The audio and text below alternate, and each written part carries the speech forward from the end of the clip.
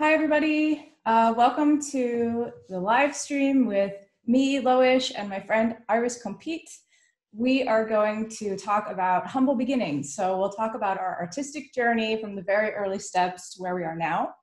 Uh, and before we get into it, uh, full disclosure, this is a pre-recorded conversation. We actually had this conversation about a week before Lightbox for scheduling reasons, for technical reasons. This was the best way to do it. But I will be online Maybe Iris will be online too yep. when we broadcast it, and we'll be seeing your comments come in, and we'll be in the chat, maybe responding to some of your questions. But what you're watching right now is has already happened in the past.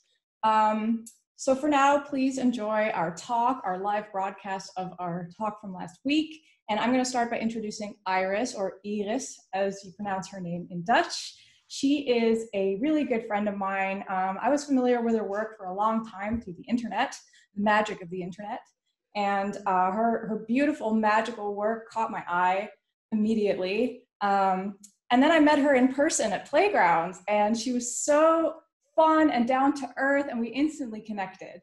Um, so she turned from an artist that I admired into a close friend of mine. Uh, she's a fantasy artist who makes watercolor paintings and sculptures as well of beautiful creatures, which she calls the fairies. Her work is immersive, full of magic and wonder, and I'll let Iris tell you a little bit more about what she does. You said it all. I create whatever I like, whenever I like to create. Um, yeah, it's pr- pretty much. Thank you so much for your kind words, making me look good. Um, course. What do I do? That's the question. What do I do? What do I do? I do everything. I, you know, uh, fairies. Um, I didn't set out to go, do fairies, I, but you know, I ended up doing fairies in in the end, and I don't really mind. It's it's a good it's a good job to have. Yeah, and um, you don't you don't really create the fairies, right? You just document them. Yeah, yeah yeah You're more like a documentary like, creator than i than... feel very much like an adventurer. Like i am like a bit of a indiana jones type of person. That's what i want to be you know with the whip and everything. Um but uh, yeah it's it's just documenting what could be or is or you know just look at things differently. It's so easy to look at things and see oh that's a stone oh that's a flower but if you look closely at these everyday things you can see so much more and that's basically what our job is.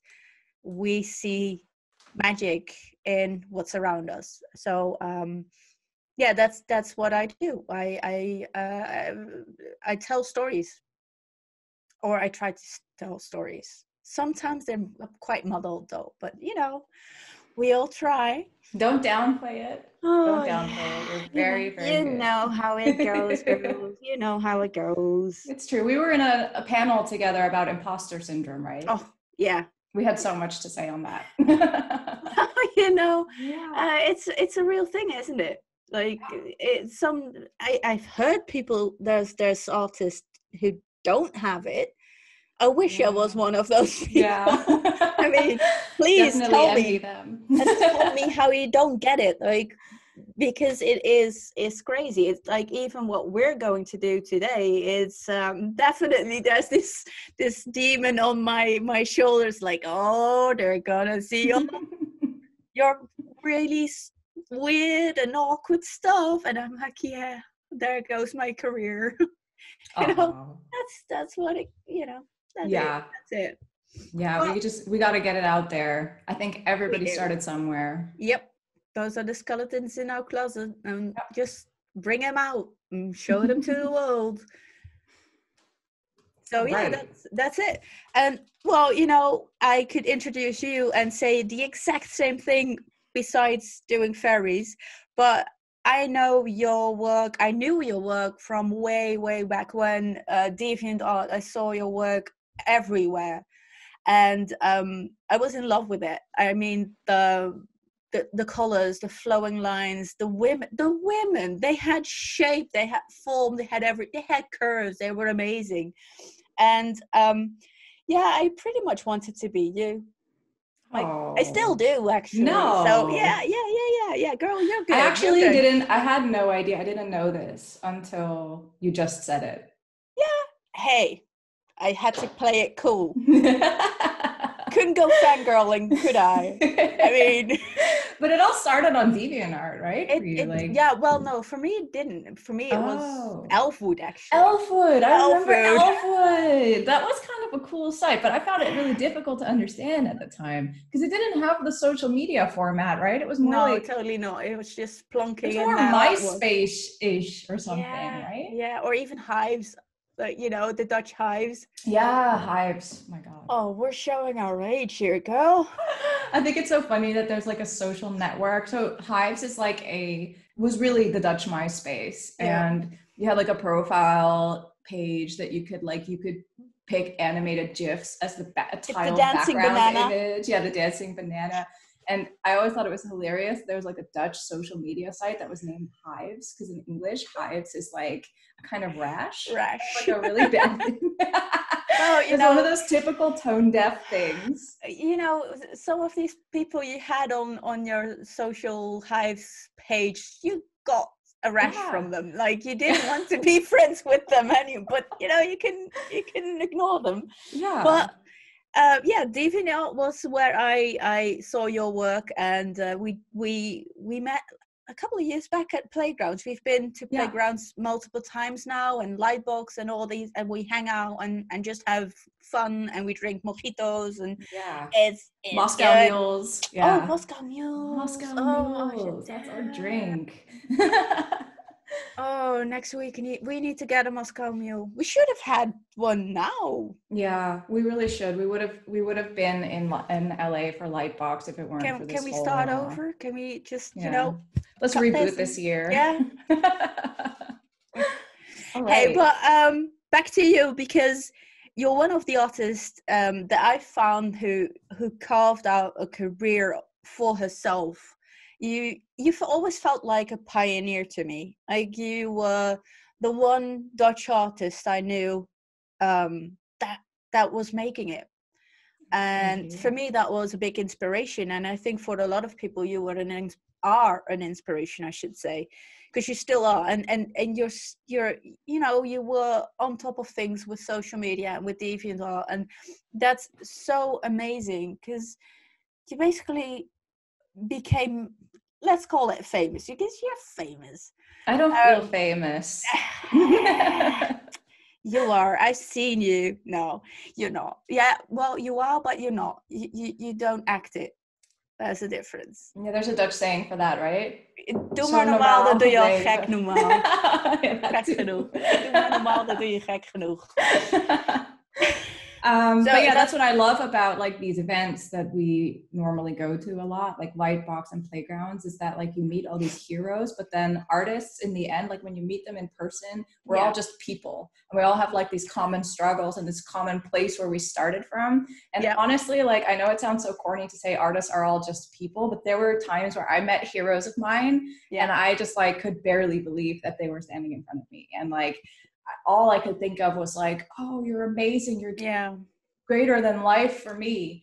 Um, Yeah. But then once you really sort of settle down and get to know everybody, it's like we all have these universal struggles. We all started Yeah. somewhere. And, and that's what I really love about these events. And I think that's why for us, it felt like such a good decision to focus on like our beginnings as an artist for this event, as well as a way to like sort of back breaking down, down- to earth. Yeah, about- breaking down the barriers, Yeah. actually. It's like, there, it, it's so easy to put people on pedestals who Yes. you know, it's so easy to put you on a pedestal because you've done all these amazing jobs and and and have you know millions of followers. So it's easy to put you high on a pedestal and say, "Oh, it's Lois," but you're not doing any justice to you as a person, or it's making um, me in, uncomfortable approaching you.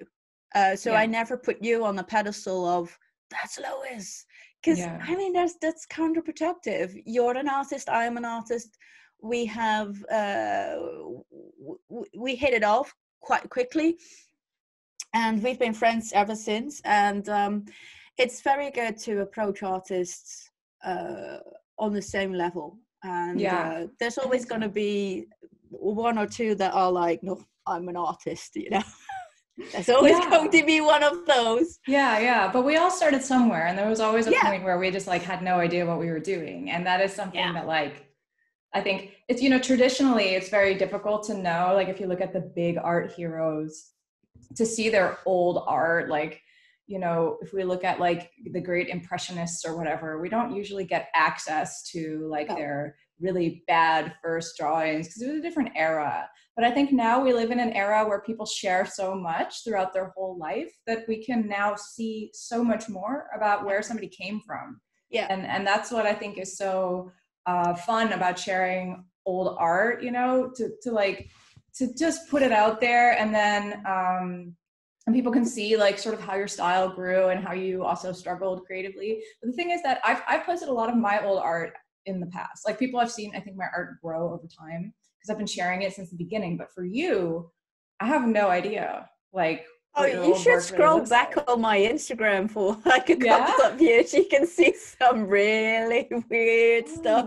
Because for But me, yeah. I discovered your work when you had like kind of found your style. So for Yeah. me, you kind of like popped out of nowhere with these incredible watercolors. Yeah. I, I, I, I, I feel I had a different um, start than than you had, uh, and and I definitely di- didn't get on on social media a lot. Like, I think my first post was in 2013 or something, and then before that it was Elfwood, which Yeah. had you know not a lot of followers, and uh, I was just not as interested.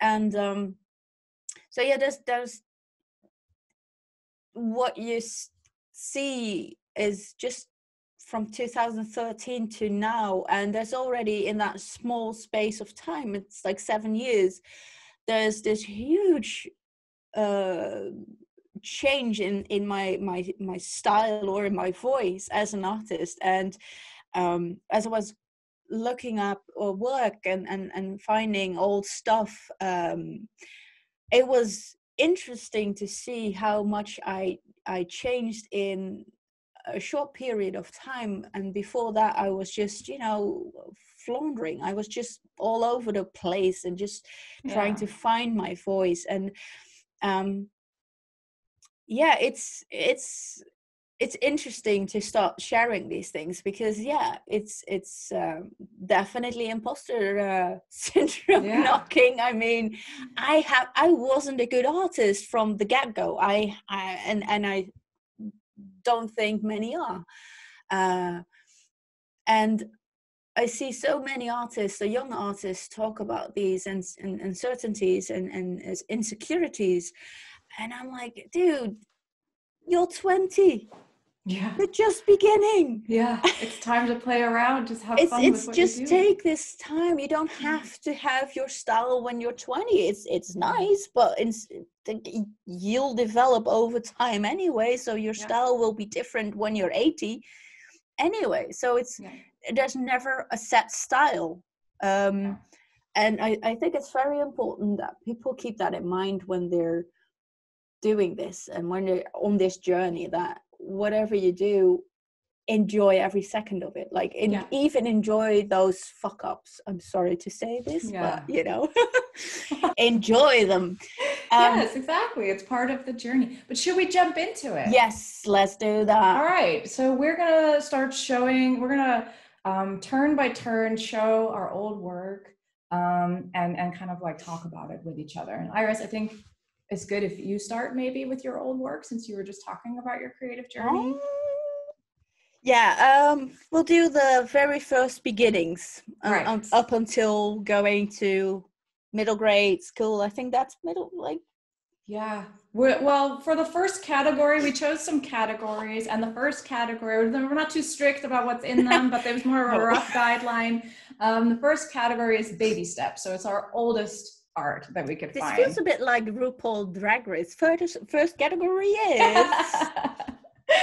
Let's do it. Let's do it. Let's, Let's share screen, guys. Okay, we're set. That's it. These are my first, very first pieces. I Oh, was wow.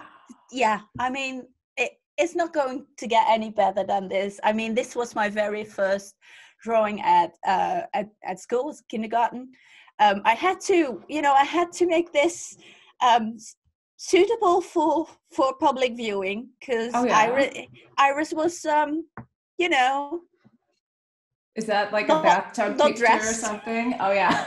Yeah, you know Awkward the one. childhood photos thrown in the mix. hey nice. and then yeah i was i this was done in 1984 so I- i'm from 1979 so i was Okay. five years old and i'm i'm still so very amazed by the fact i drew five fingers yeah. don't I ask think me the attention to detail in all of these Right? is impressive. Yeah. yeah this is my favorite though this is my father Yeah. um i don't have this or drawing anymore and it it was a color drawing but um i gave this to my father when he died it, it went into his casket Oh. um and i i just love that drawing because i this was our car and it's a, a an orange car and it was just had this wonderful uh yeah rooftop thingy and I- counted the chickens we had and i drew Yeah. them all and then i went a bit overboard with my fantasy here because my father didn't have any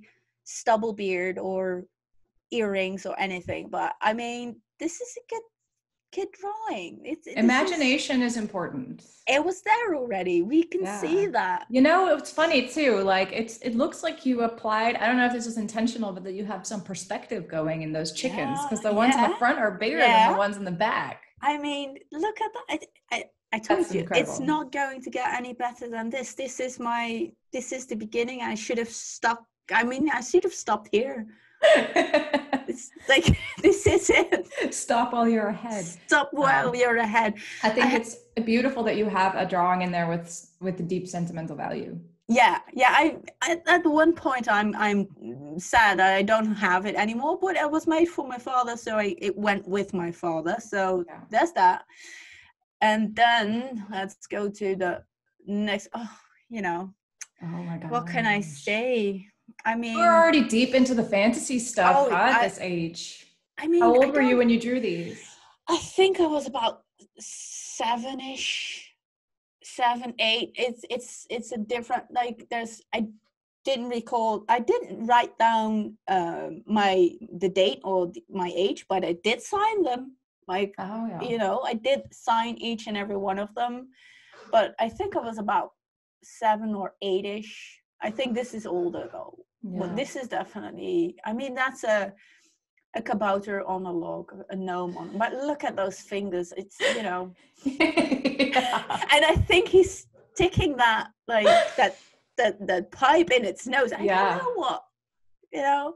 That's that's a perfectly valid way to smoke Right? a pipe. I know it's. I think it's I think it's amazing how much shading you applied to those trees. I think that tree is actually so cool. I mean, It is a cool at- tree. right? Yeah, and then this was my dream dress. Um, oh yeah. there's a lot of lace, people. There's uh, uh, flowery fabric, flowers, lace, lace, flowery stuff, lace, pearls, uh, a rhinestone, lace, lace, lace, lace. So I liked lace back then. Yeah. Yeah. Do you I- still like lace? Maybe it was black lace. it would still be maybe your fashion sense is still somewhat similar. Yeah. Yeah, yeah. So do you remember how you what you were thinking when you drew these? Do you like how what were you aiming I for? actually, when I found these pictures, I was like, "What? Did I do these?" Because I was like, "What did you smoke?" yeah, that's how I feel a lot about a lot of my old art too. That I look at it and I'm like, I'm not sure what I was thinking. Like I remember making it, but I don't remember my motivation for making. Yeah, no, I, I mean, I was trying to tell stories here. I know I was a, v- a very big fan of the Efteling, for instance, which is uh, Disney World or Disneyland in in the Netherlands, which is a great theme park with all these. Um, uh, fairy tale forest and and and uh, castles and stuff like that, wh- which I absolutely loved. And I think this one was pretty much based on that. Like, and there's quite a lot of detail going on. I can see here there's there's like a spider in a web. You know, uh, Yeah. I- yeah, there is a high attention to detail. I Yeah. can really see that. Also in the earlier slide, I think that you had an eye for detail from from Yeah. the beginning. hey, but it gets better. Gets Okay. better. Yeah.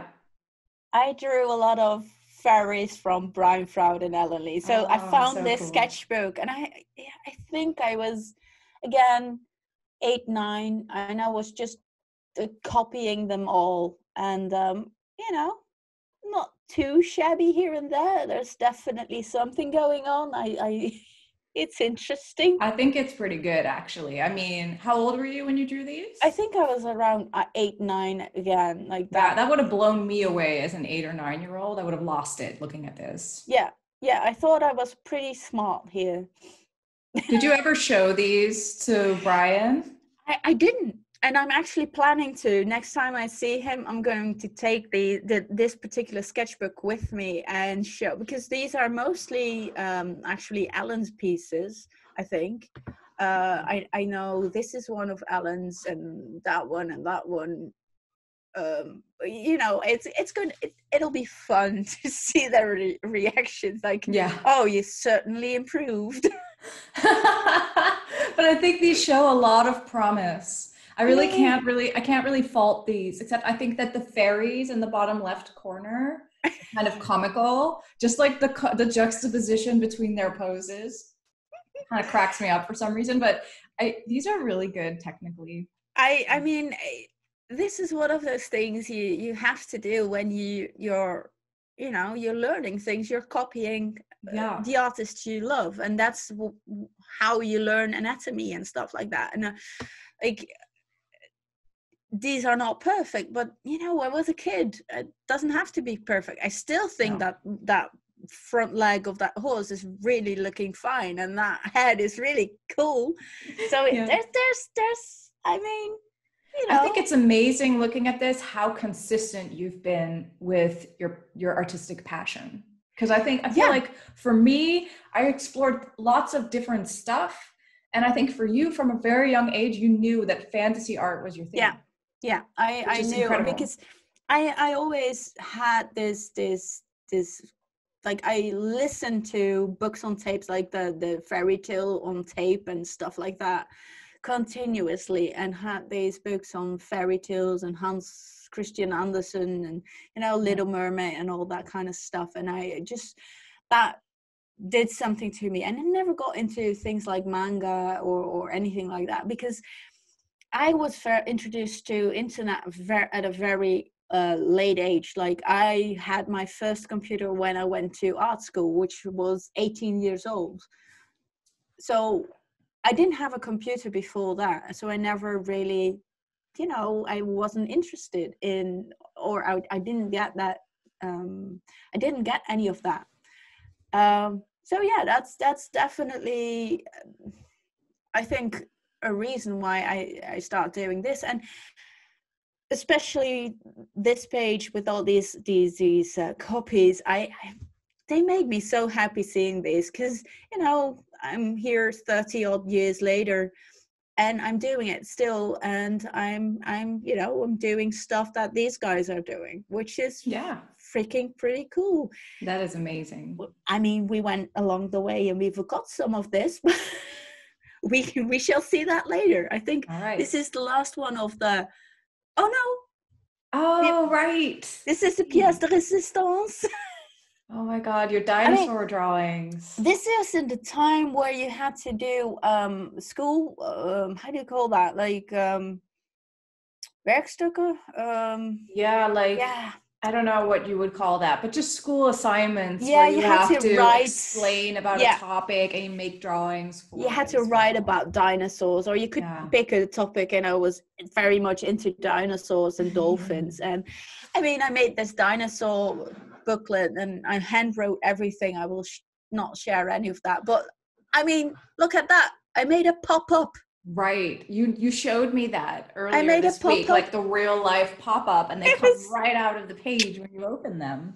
it was so much so so funny and then you know on the on the back of the the essay i had this uh yeah it's a it's a tyrannosaurus uh, doofus yeah. Tyrannosaurus muffcase. it is i mean I know, love- I love this sketch. It is so 80s. It is. It is. It, In the it- 80s, you had all these wacky dinosaur cartoons, and they were Yeah. always very lumpy, and they had these huge eyes. Yeah. Yeah. I was and really into dinosaurs too as a kid. I. I, I um, mean, I feel like it's a hallmark of kids who grew up in the 80s and early Yeah. 90s. Like all yeah. There's there's something going on there that's Yeah. definitely showing my age. mine too. Mine too. Yeah. and hey, well, I got very very high grades. I mean, that's a nine. That's about uh, what would that be? A nine, ten That's is like an. A. Yeah. So Yeah. It's like one step below the A plus. A. Yeah. A. A. So yeah. nice job. I mean, put your your your skills. That was the one for next. I, oh yeah. That's the next one. But All I right. put my skills to good use, and I, uh, yeah, I. This was some of the oldest stuff I found. This is some of the first things, and it was fun to see how much fantasy there was already there from copying fairies by Brian and Alan, Yeah. and then do you know doing my own stuff. And um, yeah, I, I think it it was fun to see those. It's been a very long time since I've last seen those sketches, and Yeah. You know, I think that it's clear it's clear to me that you were talented from the start. And I can imagine that you were probably celebrated a lot by your parents or teachers, classmates as as a talented artist. Um, yeah, I yeah, I was um uh, encouraged by my my parents. My teachers were um a little less enthusiastic. Yeah. Yeah. I mean, I I wasn't as interested in the academic side of things. I wasn't good at math or you know all that kind of stuff, and I I just wanted to draw a lot. Um, and uh, I think I developed more of my my my drawing because I was uh, the youngest of of three children. Like the the difference between my youngest brother and myself is like seven years, which is a huge difference when you're a kid. Yeah. I mean, I was when I was one. He, my my youngest brother was seven, and then you know he's fourteen, and I'm seven. That's yeah. a huge difference. You don't want to play with your seven-year-old sis, kid sister. Yeah, yeah, yeah. So you had to like keep yourself entertained. Uh, yeah, definitely. And then drawing was was that thing for me. Yeah. So yeah, I want to see your stuff. Okay, great. Um, I'm ready. Let's Go see. for it. Share screen. There we go. All right. Do you see it? Yes. Let me double check the full screen. All right. So this is my earliest art that I could find. Um, the one on the left, uh, I only drew the ears. So it was a it was a school assignment, and this is something I did when I was four. This is truly the oldest art I could find. Um, and all I had to do was draw in the ear of Miffy and the dog. And I do feel that I didn't really do a good job on that. Oh, I you can did a great see- job. I can see some some like design flaws here, uh, especially Miffy's smaller ear. Um, I clearly didn't get it, but I Uh, tried. You know, I mean, it's a good try, and and ears are never, I they're never symmetrical, so I I I can't fault you for that one. And I love the dog's ears because he's like, huh? yeah, he's looking up. Well, I Huh? was from a young age. I was pretty good at like. I was maybe not as technically skilled, but I was good at coming up with like a reason why I had made that decision. So I remember at some point I drew some some character with one leg longer than the other, and some mean classmate was like one leg is too short. And i was like that's because he's taking a step forward. And everyone was like oh my god that's amazing. But i made it up on the spot. So i was like definitely improvisational with with my reasoning. Um, so i guess i could say now that the other ear going up was a conscious decision to add some personality there. Uh, he's then- listening. he's listening. I want to know the story behind that. Like I, I can I can see a giant with a jacket and buttons and stuff like that, and yeah I can see a face and eyelashes and everything and a smile and tell me about it because it's awesome. Yeah, I mean, when I look at it now, I can see a lot of like tension there. There's like the bigger character with like a kind of like with arms coming out and almost looks like it has one single eye in the middle, like a cyclops. And then there's like a tiny little person over to the side, you see? yeah, Yeah. yeah, yeah, yeah.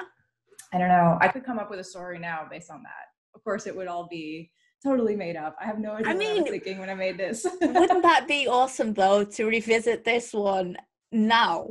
yeah, I think in general, revisiting childhood art has something incredibly wholesome about it. So maybe it would be worth it. Did you ever see what IKEA did? Like uh, for IKEA, they could- you could send in like a like kids sent in childhood yeah, drawings, and then they made like stuffed animals Plush. out of yeah, those drawings. Yeah, there were a couple of those that I really wanted. Yeah, there were some really cool ones. Yeah, yeah. Um, and the one here all the way on the right, I don't know if the head is obscured, but um, that doesn't you matter. Uh, yeah, okay. So this is like a way older drawing. This drawing is from when I was first learning digital art, but it was my first attempt at perspective. And it's actually a drawing of Neo from The Matrix. Yeah, From below, holding his hand out, stopping the bullets. Oh, so cool. Um, and it was my first attempt. And when I look at it now, I can just see like how how completely lost I was and how frustrated. I really couldn't translate the the shapes into perspective. Yeah, but perspective is so difficult. And how Yeah. old were you? I was, I think, 15 at the time. Yeah, So I mean, so many people can't even draw perspective at 30, so let, let alone 50. But it's so impressive that you were already working in digital.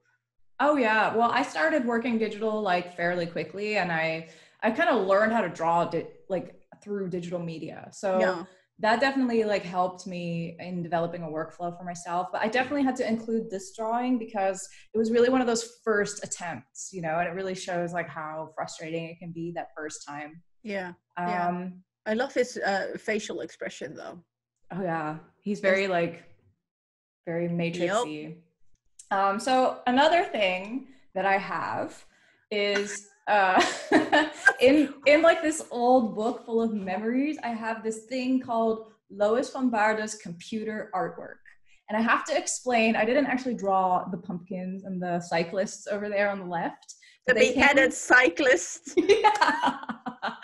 so they came from um from like a really a software and i'm still struggling to find out what software that is but it was like an animation software that you could play around with and you could like make a brush you could like pick a brush and then it would be an animated brush and every time you clicked it would create a new frame and what i did like i learned how to screenshot stuff so i would just screenshot the characters and put it in paint and then add like legs and hands and stuff Oh, that's so very cool. collagey. Uh, and I thought it was just so funny. Like I, I was in a phase. So this was when I was in fifth grade. So I'd say like 11, 10 or 11. This I was in a so phase cool. where I just wanted my art to be funny. So I did a lot of like gory jokes. Well, it is funny because I'm I'm wondering what that like dart is going. yeah, why is there a dart going in his butt? That's the kind of stuff that I thought was so funny as a 10 year Oh. old, like a dart going into someone's butt. And the fact that like the girl pumpkin has like a ribbon and high heels Oh. was like totally my thing. And the, the drawing on the right comes from that little computer artwork booklet. And that's how I drew in paint. I would like sort of bring it. I think paint had a couple of stock textures or like maybe they were standard backgrounds on, on, uh, I mean, don't- at the time. Don't diss it because this is this is better than my digital attempts. yeah this was my computer so i spent a lot of time on paint in the and it's really too bad that i don't have a picture of this masterpiece that i made at some point this was before i discovered print screen um, i actually copied the entire interface of paint pixel by pixel on the, the paint canvas and i thought this was a- a move of great genius like i had one by one copied a whole interface and I showed it to my parents. I printed it out, showed it to my parents, and they said, That's a screenshot. And I was like, What is a screenshot? What are you talking about? And then they explained what that was to me. And then I realized that all my work had been for nothing.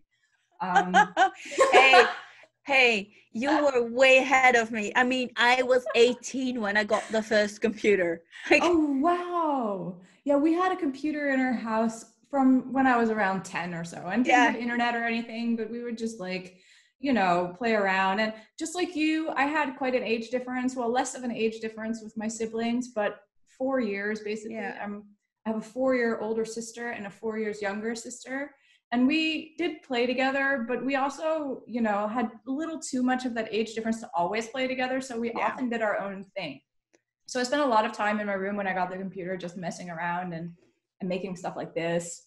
Um, Oh yeah, and I have to include this drawing as well. This Oh. is from later when I was around 13, I think, that I made this. But this was like I was in a phase. So you you know, I guess my story about copying the paint interface says something about my mindset at that time because I really believed that like copying stuff that I saw was the best way to learn. So I went through a phase where all I did was just like draw what was in front of me. So I didn't apply. I mean, that's that's a good thing, and that's how you learn. I'm that's Yeah. this, this is still life. I kind of missed out on like I didn't learn to really incorporate my imagination in my early art. So it was a lot of like just drawing what was in front of me. And uh, so this is a drawing of my computer setup uh, when I was around 12, 13 years old. I love the And- cross hatching on that screen. Yeah, I was like really so into good. cross hatching. That was my my technique. And you can really see like the chunky old monitor. Like I can hear the creaks. If you turn it on, the whole thing would creak. Um, like the CD-ROM station and the hard, the little, the floppy disks. Yeah. Uh, and on, it was on this computer that I became extremely skilled at Minesweeper and Mahjong. I would play those games all day because I had no internet. So I would just get really good at Minesweeper. Oh, the first like I never understood Minesweeper. I I, I did a lot of patience. Yeah. The, the- the- the, yeah, card the- game. The card game. That yeah, was that was my Yeah. game. I oh remember solitaire that the cards would bounce Along the end and it was incredibly satisfying. It was so satisfying to finish solitaire. This is what people did before, you know, we had computers but we had no internet. We just did extremely dumb things. and the kids Um, watching this are thinking floppy disk. Yeah, what's that? I think like one word file fit on there and nothing else. That was one MB or something. Like a Yeah. floppy disk was one MB, and then later on, when I started to go to uni, uh, we had these um, um, discs that could hold 15 MB or something. You know, yeah, and the- that was like insane. that was the shit. like it's insane. all right, that's it for my baby steps. And the next the next um, category we had thought of was high school drawings or art drawn in our teenage years. Oh man, this is going to be painful. Let's, you know, let's just dive in and, and have some fun with this. Cause I mean, guys, you need to see this. This is just, yeah. This Nice. was, I, I don't even know where to begin. Um, yeah, I so what's, a, the, what's over there in the top right? What is this? The the impossible magic? Oh, let's just zoom in on that one. That's the impossible. ma- l- l- Watch the spelling, huh? the impo- imposable. Imposable magic. I have a the im, and then impossible trail of life, never ending. Life is tough. Ah-ha-ha. I was hip before it was hip. was this your was this your music or something? No, yeah, I, I just I decided to, you know, I I loved Labyrinth and uh, M.C. Escher, Escher um, the the mathematic uh, artist from the Netherlands, and there you can see those staircases there. Yeah, I yeah, yeah. I had a vellum sheet, and then put over uh, my music if I had a band, and you know, King Gold. And coron- coronation. I haven't got a clue where that came from. Life is a crime. Yes, Life is a crime. I like that one a lot. Right. people this is copyrighted then yellow before you know it beyonce has this stolen i mean come on, Yeah. on don't no, she's actually better than i am and then the yellow shoe and the red st- the red stone the red stone. and the rain This all sounds very like 70s psych rock kind of stuff. i mean you know it's interesting Sparks the imagination for sure. i that's that's what we are here Oh, for the Michael Jordan Yeah. one. The arm is just it's it's just it's disconnected. it, it's you know Is that um, intentional? Oh, that's his oh, that's just his t-shirt. that's his t-shirt Okay. yeah yeah Because yeah, I was seeing like No, and zombie I- style uh, no, no, no, no, disconnected no. arm flying I'm not. the air. I'm not that gruesome. I'm not you, Lois. I'm not you. no, all you can missing see. is a dart. I, I was I was sketching his face here, but I you know decided to just uh, skip that because that was Yeah. horrendous. And but then I don't have a clue why I did this because I don't even like football. I, I or uh, basketball. I- I suspect um, I did this for a friend in high school, Oh, um, early high school, so eleven or twelve years old. Same as with this. I mean, look at that. Don't ask me.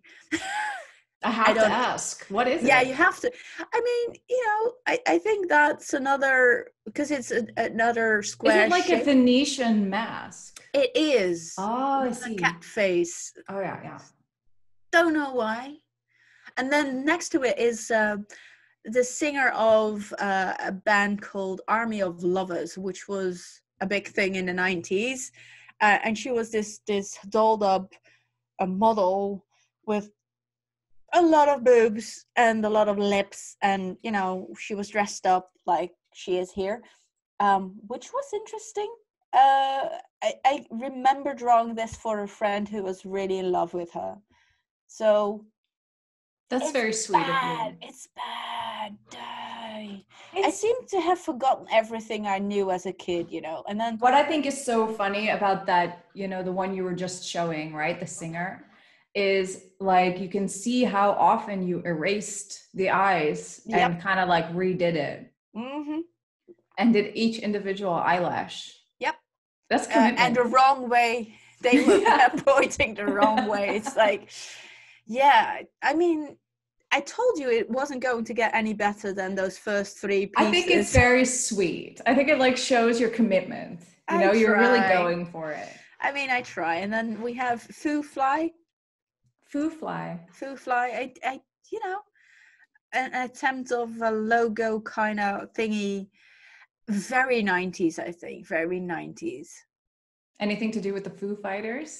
no No. i don't even know what it is i truly don't I, think love how in the 90s, like in the 90s, like graffiti was really popular and like bubbly letters and stuff like that. Mm, I can see where this is coming from. yeah and then hand anatomy still struggling with that. And i was that was from sev- nine, 97 and then you know i i loved the band called take that which featured robbie williams. And i just these are just two of the many many many pictures i drew for of of, of them. And i just copied those pictures from all the all the magazines that were out there you know. Every single magazine i was just copying those. And i think it's it's actually it was actually really good for understanding facial uh, anatomy without actually um, being conscious about it i, I wasn't Yeah. really doing anything uh, consciously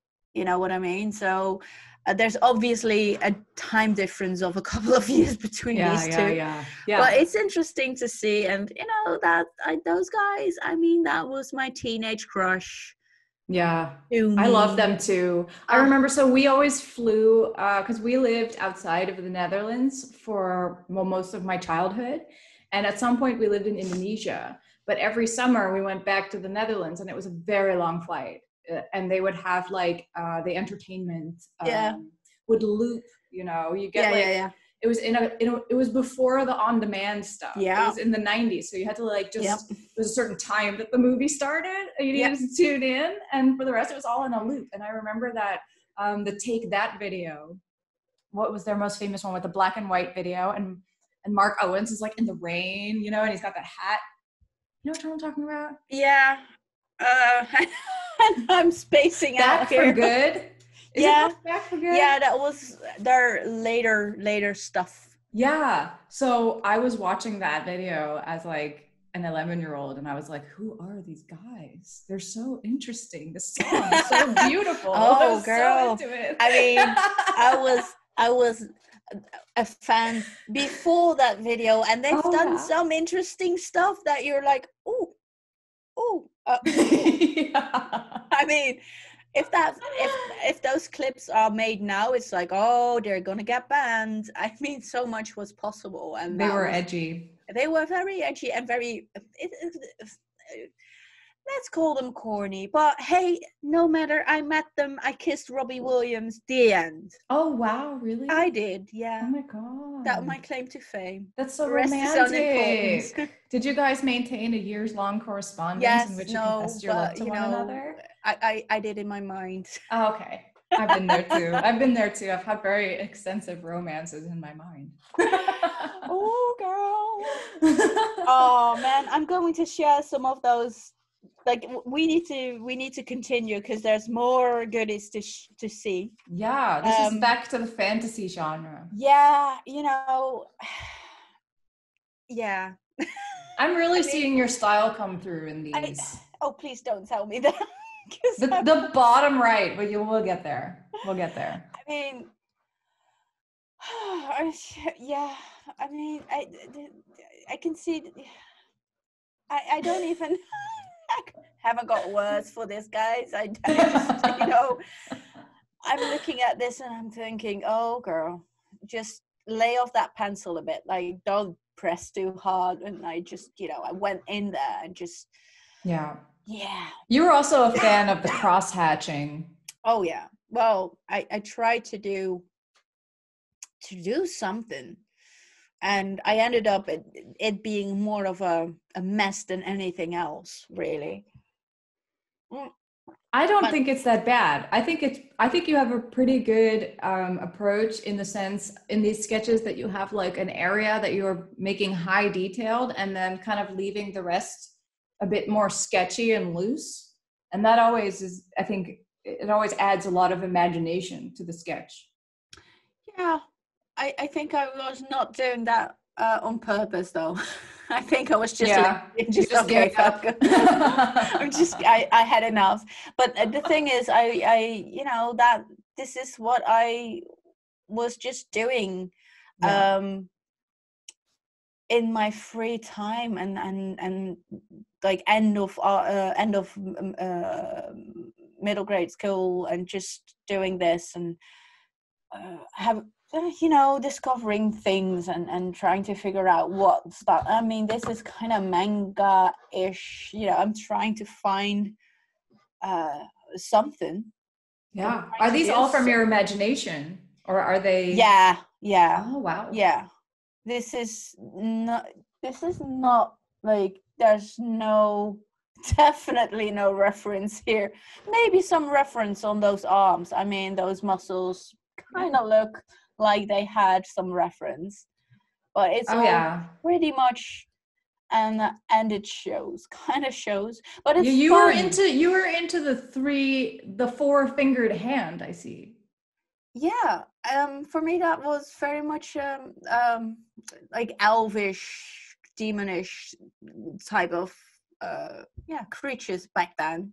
Yeah, it's like a stylistic choice. yeah it's definitely a choice. I don't know exactly why i did made that choice.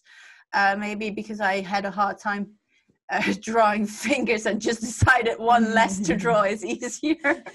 But I, I think it's funny to see how I'm already oh we're already oh man I'm I'm no.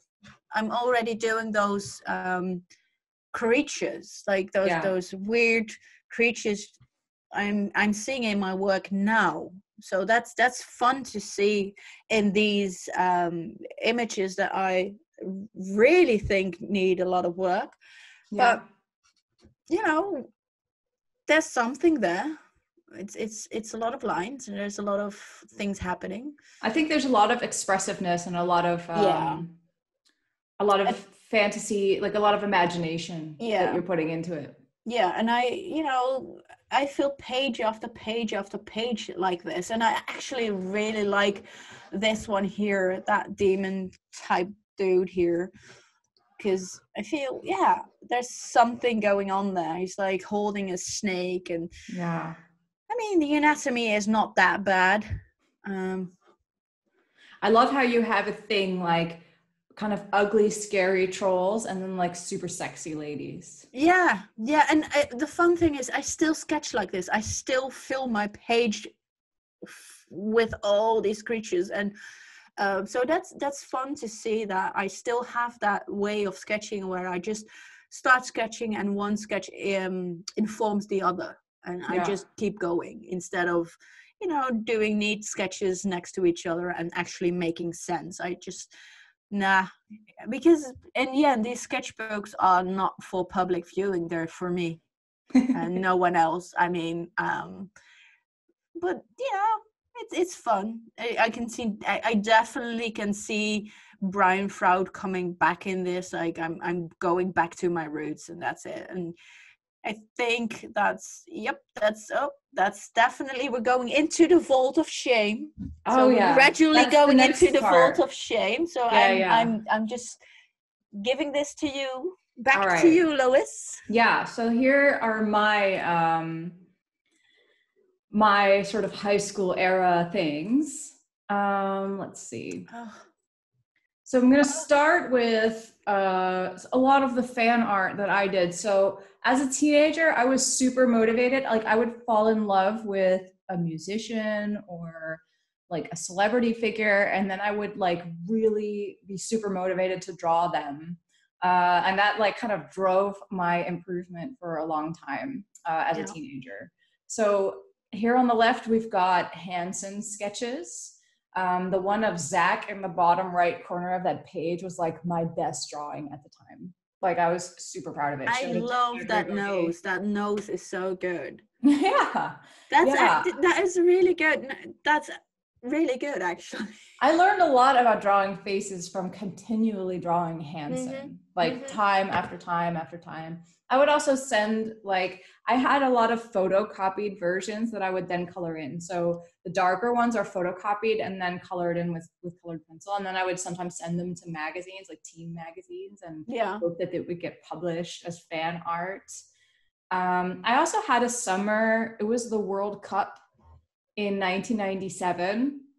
And that summer, I was like really into the World Cup for some reason. I think, uh, you know, I just watched it a lot with my dad and, and I, um, the emotion, it was like a very intense World Yeah. Cup because Ronaldo, like not the Ronaldo that's popular now, but the Ronaldo that's popular back then, um, was like just one of the best. And every time Brazil played, it was like Ronaldo's playing, he's doing an incredible hat trick. I didn't know what any of that meant, but for some reason, I fell in love with Ronaldo. So I had like a lot of drawings of Ronaldo, and I had a T-shirt with the Ronaldo and the nine, the Brazil nine. So I was really into him for a while, and then the top, the tops, top right ones are of the singer of Creed.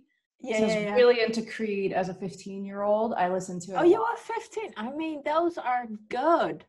Yeah, I, I, when I look at them now. I'm like, that's not bad. But I kind of No. discovered a trick at the time, which was to draw in black and white, and then it was just a lot easier to capture Yeah, somebody's yeah, likeness if I could yeah. just like reduce it to strong values. Although I kind of like gave up on the face in the one up there. No, I Um, like that actually. That's a stylistic choice. I, Yeah. I, I, I really like because there's still some you can still see the hint of the nose and, and the eyes and stuff. And there is something happening. There's a there's a lot of movement in the background and Yeah. and, and I was man, really the- proud of these at the time. I- Very proud. You should still be proud actually Yeah. because I mean those bad. eyes. No, they're they're certainly not bad. I but I mean, the saw I saw a lot of like I saw a lot of beauty in this Scott Stapp guy, the singer of Creed. Mm, that like later just vanished when I realized that he was kind of a jerk. Um, Yeah. And so you can see really small uh, underneath the close-up sketch some text, and I wrote loser. "loser" because I decided that he was no longer worthy. And I was wondering who's loser. yeah, him. So I kind of got over all of these people really fast, but they were like very intense, like you know, one-sided romances that I had with these. Um, these they're- people. they're absolute great um, uh, ways of learning how to draw and how to Yeah. you know how to see shape and and and and what what what um, how shadow forms uh, the shape of, of of of something you know how light and dark the contrast between those Yeah, work. I definitely learned a lot from like just drawing from reference and being super passionate about these people. You know, when I look back, Yeah. I'm kind of like embarrassed, but I was so passionate about it that it like drove me creatively. And it, Yeah. taught me a lot about the relationship between passion and creativity. yeah If because- you love what you draw, it, it drives you forward. And even Yeah. if you later lose interest, it's still something that you learn a lot from and that like kind of is foundational, you know, to the lessons that you learn. And so drawing these guys that I was in love with was always like a big thing for me in my early Yeah. teenage years. Yeah.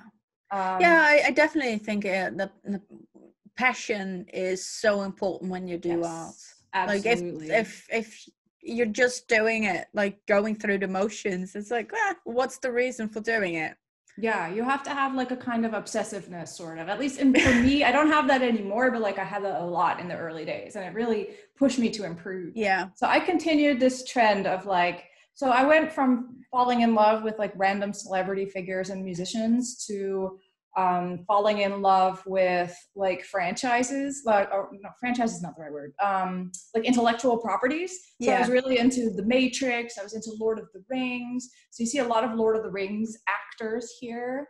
Um, Faramir, Boromir were my favorites for some reason, and the, and the Hobbit. So I've got Dominic Monaghan over there. Um, and then the top left is Keanu who's really into the Matrix. Like really, Yeah. that's that's my first perspective. I drawing. thought that was Nick Cave at first. Yeah, Because of the the hair, the longer hair has a, a- kind yeah. Nick That's Cave vibe actually there. the background, but it does. Yeah. Actually, now that I see that, so I would take the the photos and I would bring them into Photoshop, desaturate them, and amp the levels, and I would use that as my reference photo to get it as Ah. realistic as possible because I didn't want to bother too much with the with the color and everything. But then for the the bottom right of Tobey Maguire from Spider-Man, I kind of I went all out with the color on that one. And I drew all of these on Oekaki boards, which is like a really simple kind of software, um, like like paint almost. Just like, like one brush that was a little bit softer, uh, and that's how I drew all of these. So I was really driven as a teenager by these like, um, I would say like almost obsessions with like movies or actors and that kind of stuff. But I love the way that all of these feel different in in in media, even though it's all digital. But your your your use of of cross hatching in uh, uh, David Mona, can't pronounce his Dominic. Monaghan. Yeah, that one. Sorry.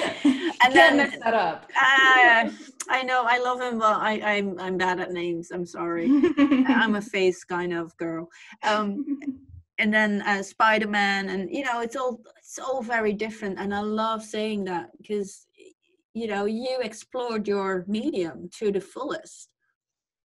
Yeah, I'd say, I mean, I didn't really um like go three dimensional at this time. I was really just trying to like copy what I saw and I was like I wanted to it was like a, sh- a shortcut for me so I did struggle a bit with three dimensionality in my character. So I was very good at doing these realistic portraits, but then when I drew like a character from imagination, I couldn't really get the depth because I was sort of looking at it the same way as I was looking at that paint interface copying, like pixel by pixel almost. Yeah, Like very yeah. mechanical, like Yeah. a human printer. Um, all right, so this is another thing in high school that I thought was hilarious. Um, so that for in high school for our um, like senior year or well like junior and senior year art art studies. So I did IB art, which was like a two year program, and we had to start with a self portrait, but it needed to be like an unconventional self portrait. So I decided to make a little box that represented me, and I decorated it with all these colors that I liked. I kind of went all out with the pink and the blue, and like I, it's so you. yeah, just really extreme. Even though I myself never wore these colors, but I liked these colors, right? So I decorated the box with all this stuff, and you could open it. And then on the inside were all of these like laminated sheets of printed out paper with like manga drawings that I found on the internet, uh, and like all of like all of these things called o- from the Oekaki board. So uh, I don't know who the original artist is of some of these, the ones that you see at the top with the wink. I it was just something I found on the internet and I printed it out and then I put it inside this box because it represented my deepest soul, like me on the inside. Like Oh, that's a big pictures that I compliment for- for the artist who's seeing their work now, and it's like, oh, that artist, you know, I hope I can find out who made it. please, it if was- you're the artist, Yeah, contact us because we need to meet you. Yes, if you were on the Oekaki Circle, because that's where I got it all from. Oekaki Circle was an Oekaki board. All these French artists would draw on there, and I would like look at the pictures and print them all out and like Oh. stick them all over my room and put them inside this box because this box represented me and my I feel soul. I've missed so much, like so much fun. Um, I, I, I mean, I, I'm like, I didn't even know what the computer was back then. Yeah, well, it was it was really fun. It was very rock and roll, but it was also like I think that like I had a chaos of influences come at me. And I feel like you had more the the sort of spa- like introspective space to really search for like you may have had books or something that was a bit Yeah, like screamy I mean, and chaotic. I went to the library. yeah.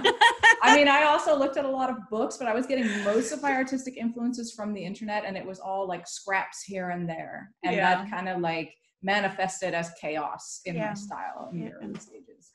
The early stages. I think it's Um, interesting to see how that works. I mean, uh, two different artists, two different ways of uh, like how we grew up with our art, and then Yeah.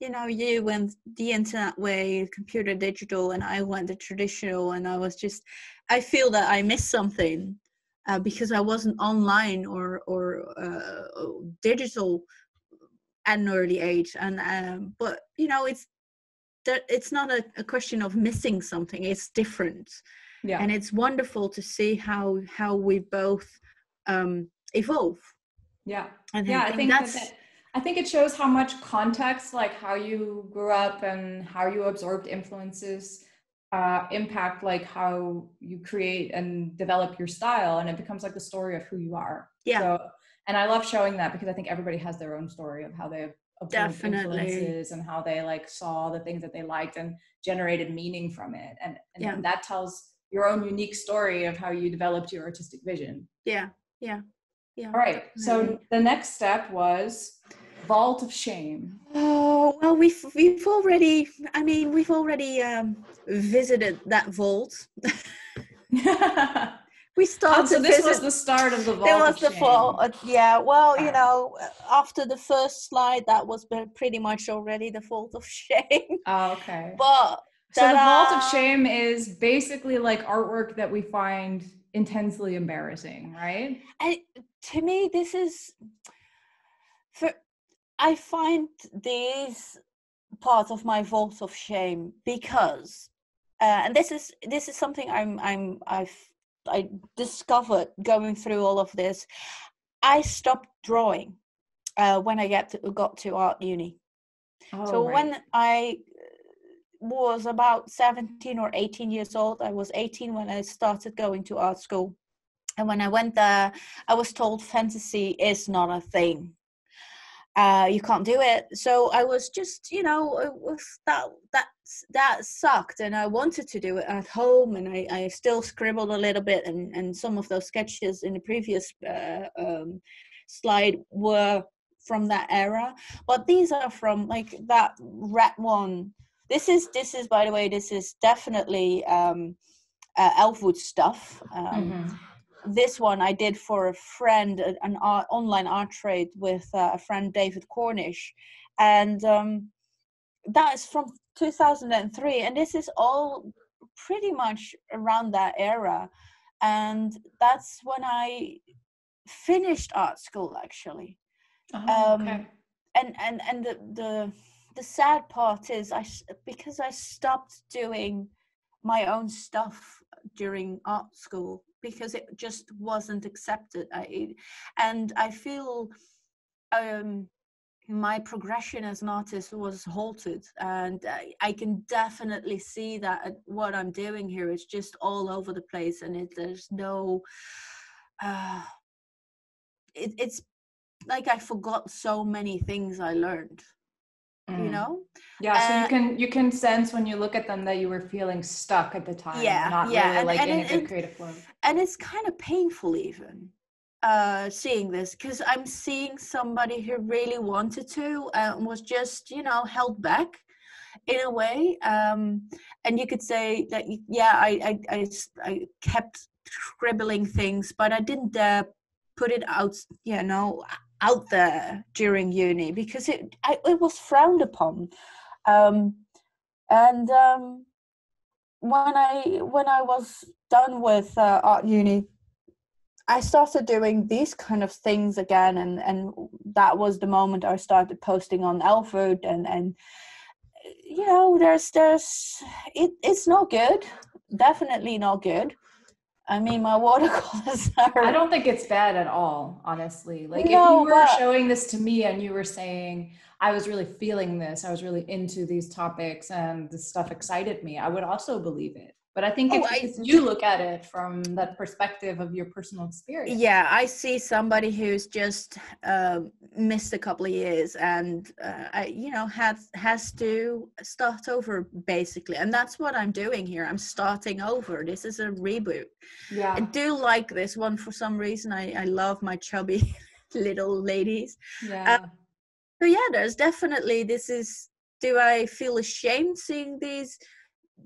Not for these pieces, but for the fact that I stopped uh, pursuing anything. I Yeah. stopped trying, um, and that's just a shame because I let other people take away what I loved. So that's that's definitely one of those um, examples of uh, yeah, that's sad but uh, Yeah. you know i i I- see uh, some badass kick-ass women here that's and i i really like that unicorn head i really I think if you remade these, that it would be oh yeah really cool to see. i mean i'm doing like dryads you can find those in my books uh, in my book anyway and uh, all, yeah.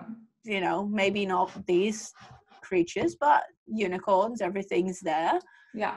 and then okay let's let's go to the next one. Is that the next one? No no. Oh i'm sorry. I'm being a clumsy. Oh, it's okay.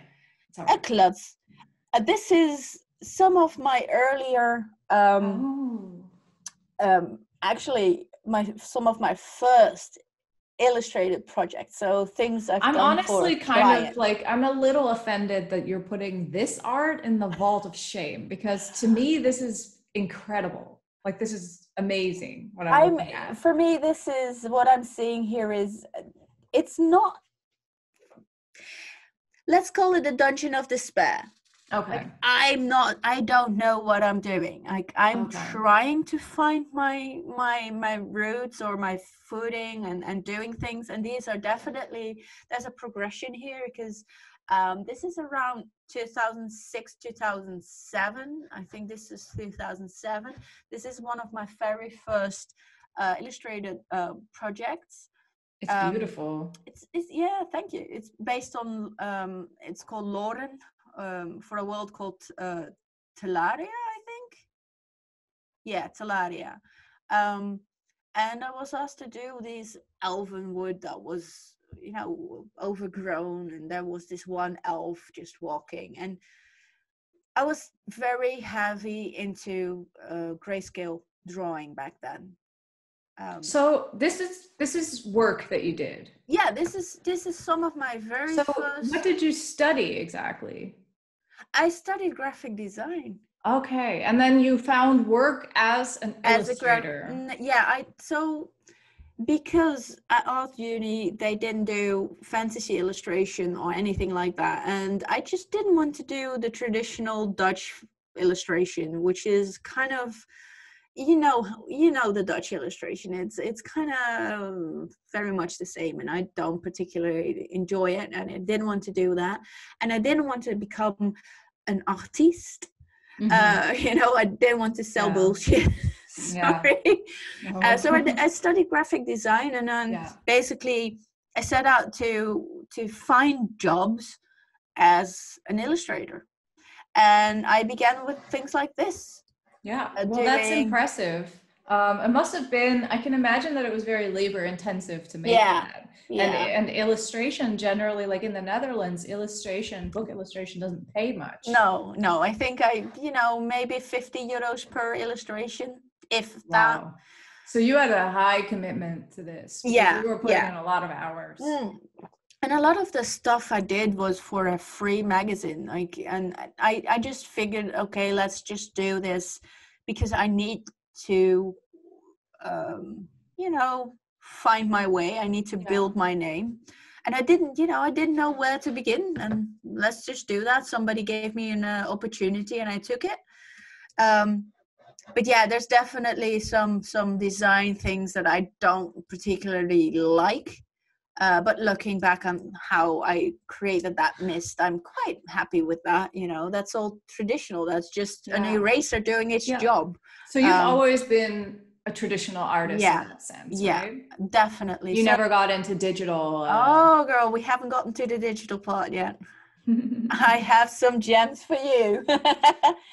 and this one is one of my favorites actually. I, I she shouldn't actually be in the fault of shame of pit of despair because yeah. here is something where I saw a shift. You know, I was, you know, finding a voice kind of style. I, I, I this particular uh, witch has this mistletoe tied to her head, um, and she's just chuckling because everybody who is under the mistletoe needs to kiss her, and she has all these tiny hairs here, and that reminded me of my grandmother who always, when she at her last years, she had these hairs as well, and she would always kiss me, and then um, you know that reminded me of my grandmother. But this is one of those uh, examples of I'm doing the dark stuff and then the really gruesome Cupid who's sewing the hearts, the broken hearts of the lovers who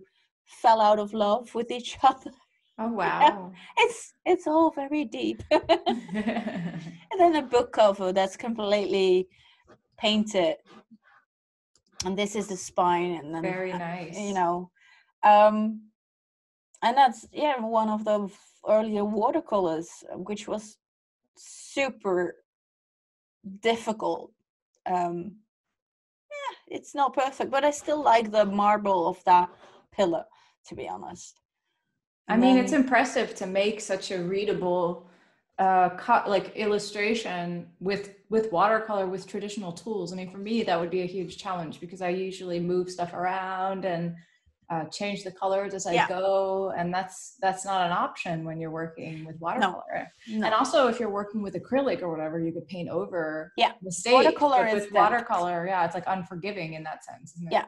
Yeah definitely. And you know i'm i'm just having fun here. This is this is definitely some of that work. 2007 i see a shift in my work um that i really enjoy um and and you know i, I keep on going and then we we we get to oh that that wonderful dragon. Again a a, a, a, cover for uh, a book and it's not good. It's like there's so much wrong in that anatomy, but you know, I like the clouds. It's think it's good. traditional.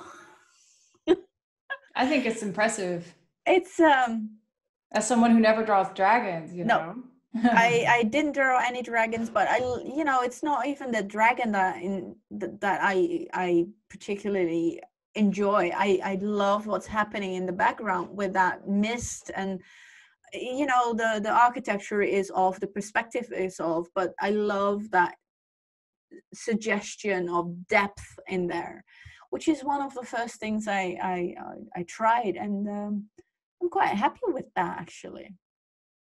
So these are all, yeah, and this is client work where I had to um, um, illustrate uh, a German novel and just create the characters, illustrate the characters like this and with uh, notes and everything. And I really loved that. So um, I put that in this fold of Despair thingy because it shows how all over the place I was back then.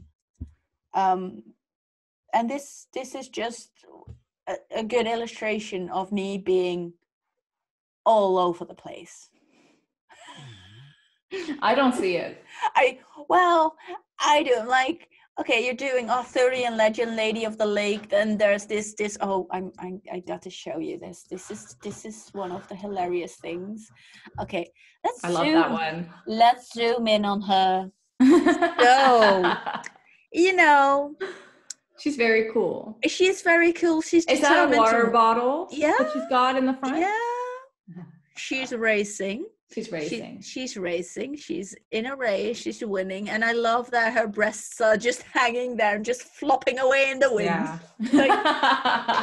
so that's another thing I love. I love humor in in some of these pieces, and this is 2007 as well. Oh yeah. So you see, I've I stopped painting um, after uni in 2001. I uh, graduated, and then 2002, 2003, I started painting again, and then this is 2006 and seven. So there's a lot of uh, change already in those couple of years of just going from that uh, awkward period of that dryad, just not feeling it, and then Mhm. doing this, which is already a huge difference. Yep. So for me, this is yes, this is the vault of shame for me, but it's also the vault of learning, and you know, I'm learning things and I'm Yeah. I'm doing things. So um, very important for me. Yeah, well, that is essential. I think that that you have to kind of experiment, and when you're experimenting, you're going to have all of these like awkward phases. But it, it's the same as growing as a human. You know, Yeah. like as teenagers, we grow awkwardly, but then you know it we develop into adults, and it's the same with art style. I'm still growing.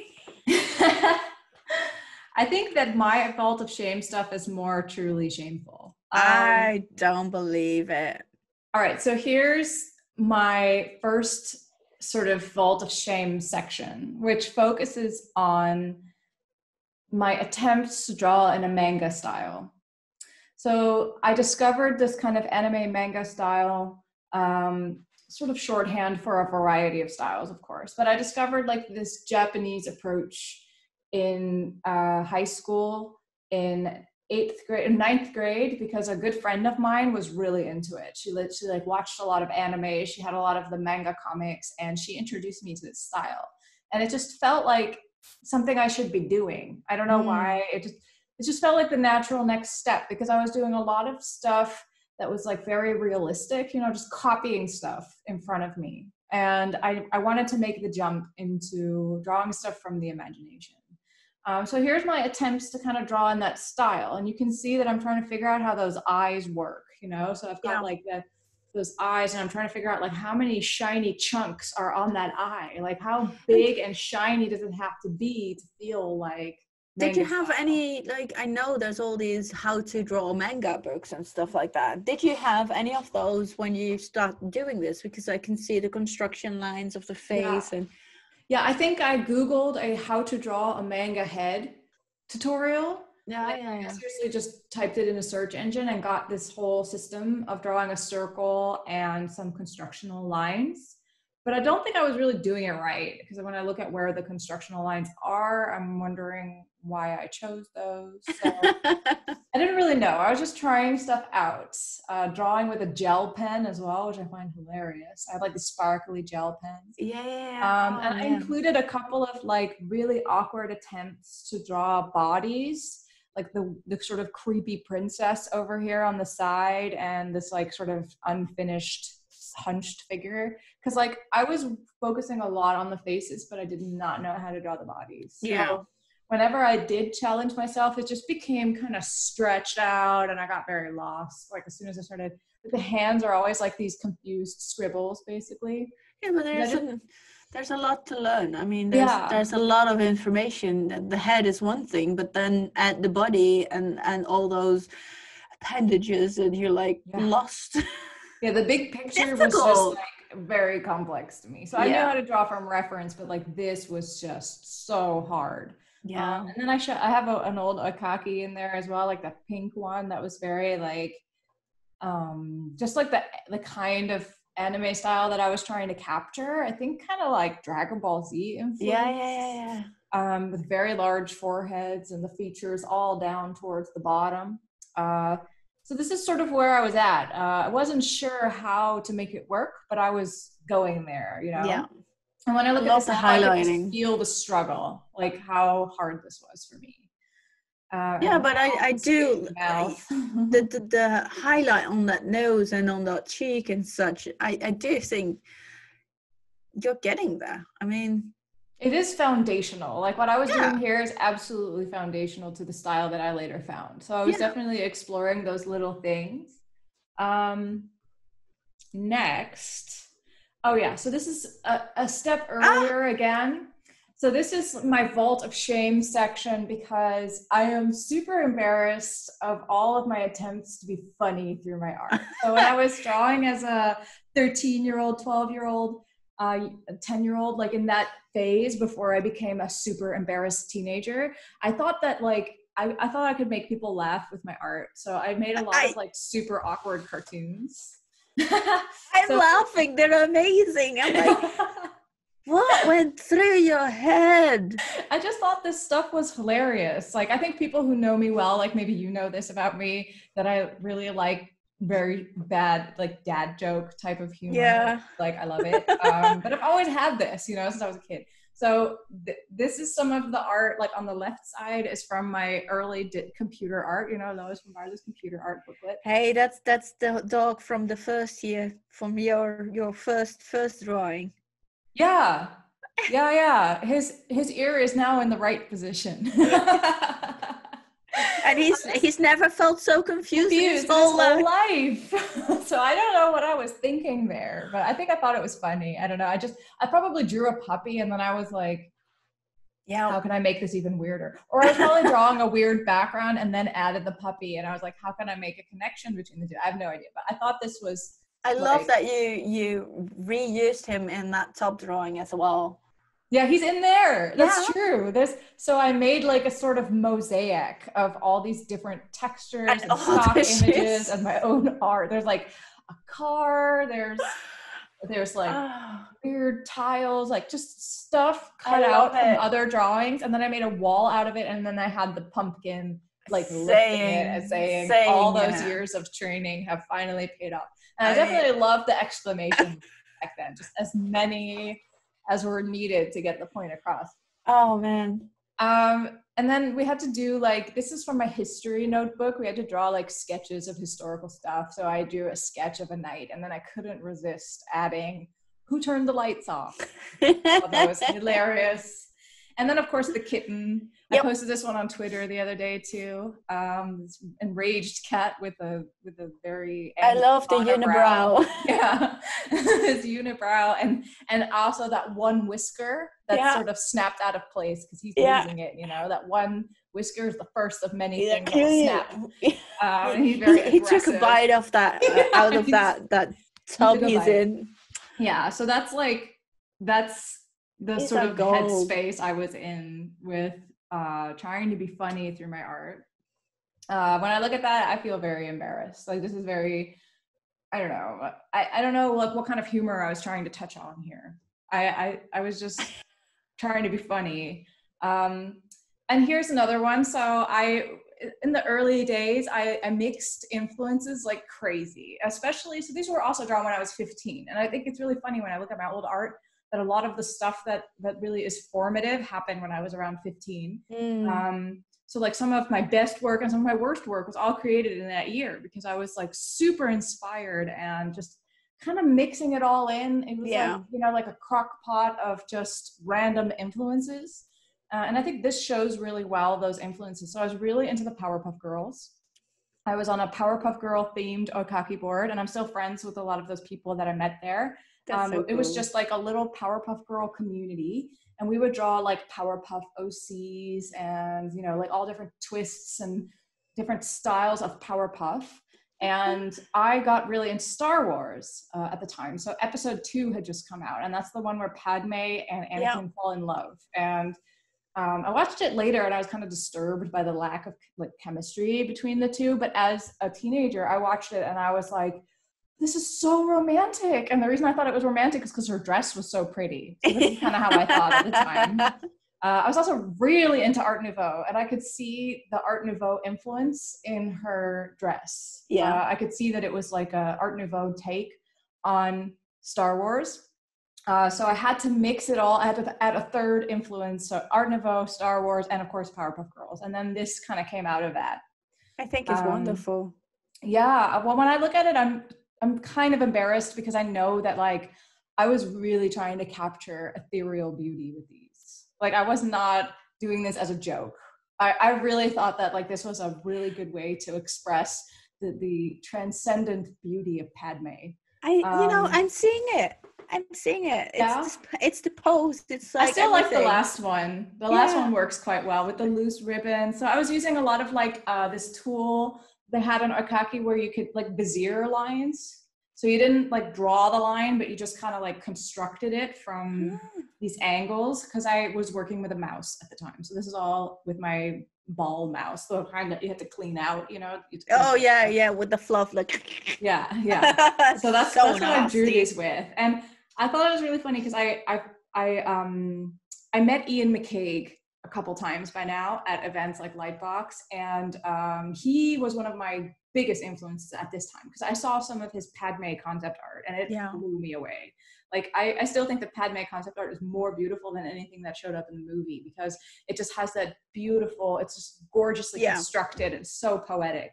Um, and so I, I was uh, at a dinner with Ian McCaig and a bunch of other people, and Ian was talking to some other people, and I was just like, I need to show him these. You know, he needs to know like the influence that he had. So I went up to him and I, I showed him. I was like, You've inspired me so much. I have to show you my Padme Powerpuff Girls. They're inspired by you. And I think he, I mean, he was very kind in his response. Yeah, that's But I think that he was like, oh, interesting. Like I don't I think he didn't really know what to say. But this is truly like these these had such a big impact on me. But I'm still very embarrassed of them because when I look at them now, I'm like, why? Why Powerpuff? You know, I didn't really think those decisions through. I just did them because I wanted Yeah, to. but, It was very I mean, you were 15 years old, and this was what you were uh, fully immersed in. So that's that's that's totally normal. Yeah, I, I didn't mean- think twice about anything, and that is something that sometimes I genuinely really miss.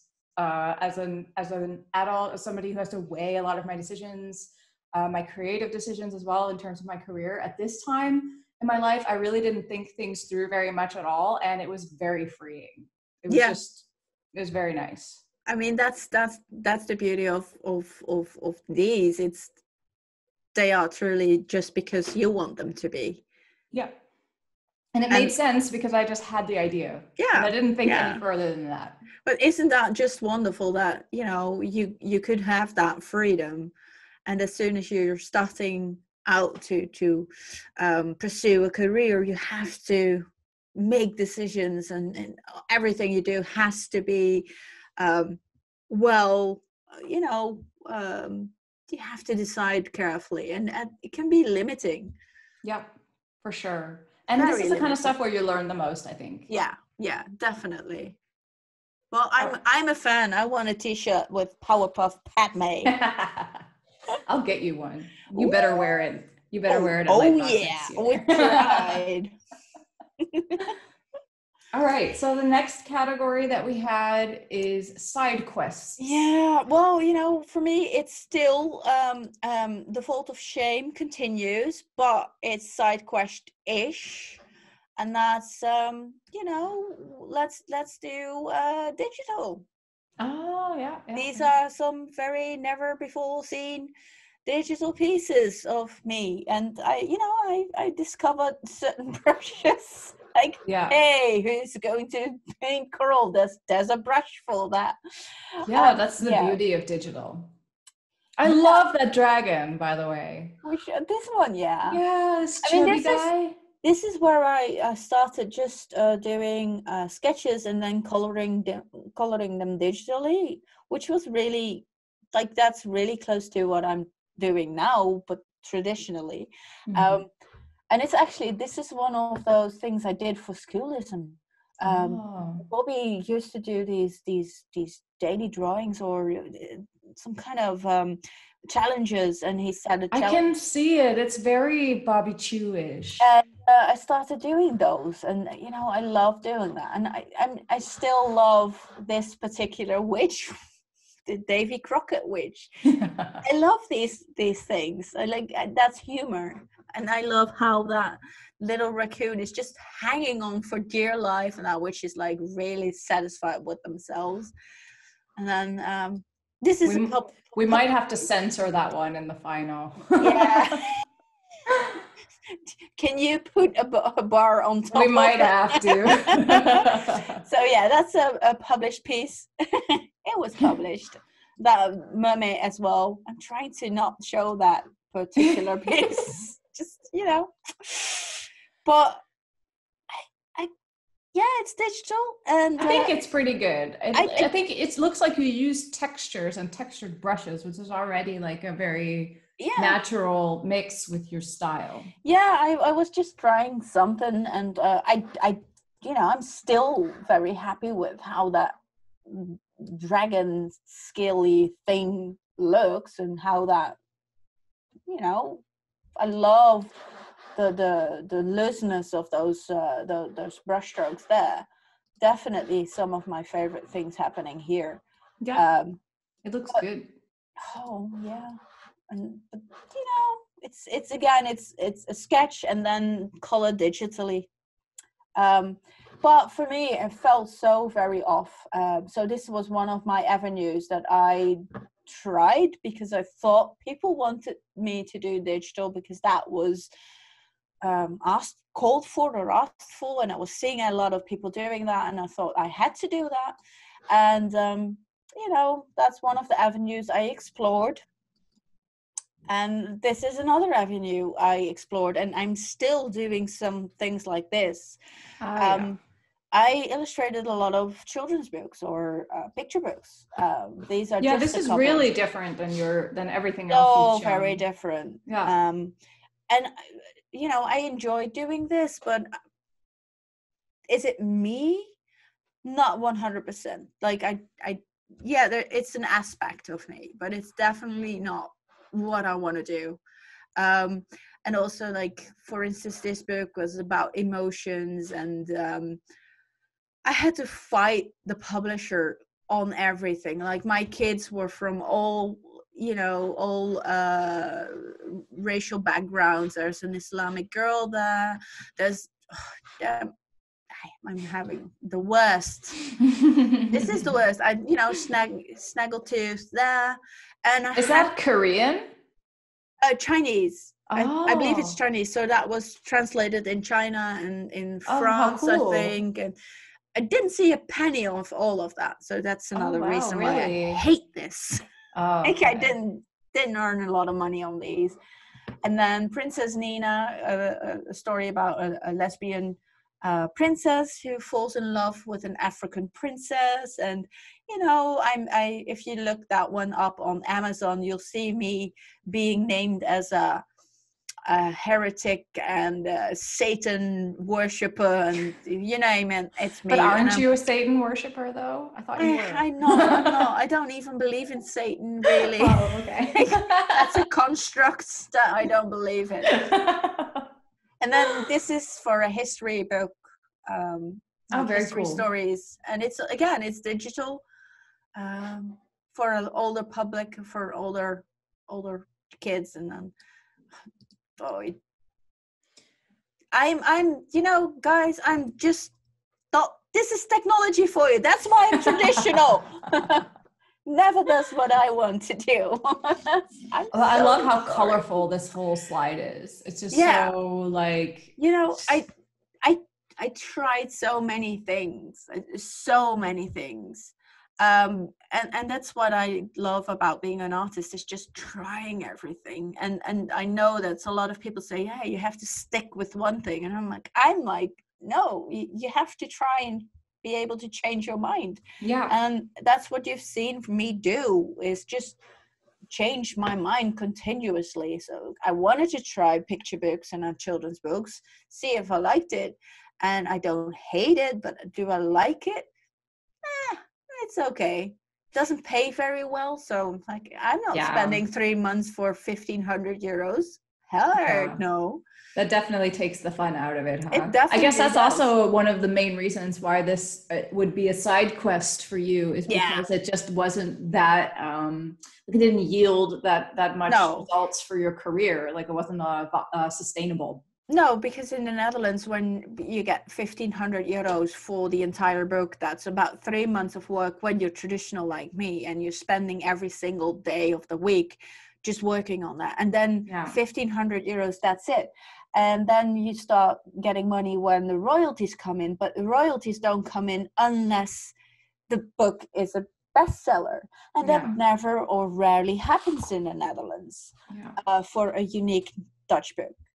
Uh, But I also do started doing this. This was Very done cool. in the similar time, which is completely different. It's very dark. It's it's This is very like illustration Yeah. genre. Like what we saw before was like storybook illustration, Yeah. and this is much more like the kind of stuff you'd see in like Spectrum or something. yeah yeah well i was just trying to find my voice really trying to find who i was and i i love all these things like i love the crazy witches and the r- really funny stuff like you had the funny uh, the, the weird humor i i too have the weird boobs are flying witches and and but I also love uh, to paint pa- pictures of. This is, for instance, um, a, a, a- a Black Widow, That's beautiful. and she is. Let's see if I don't fuck this one up.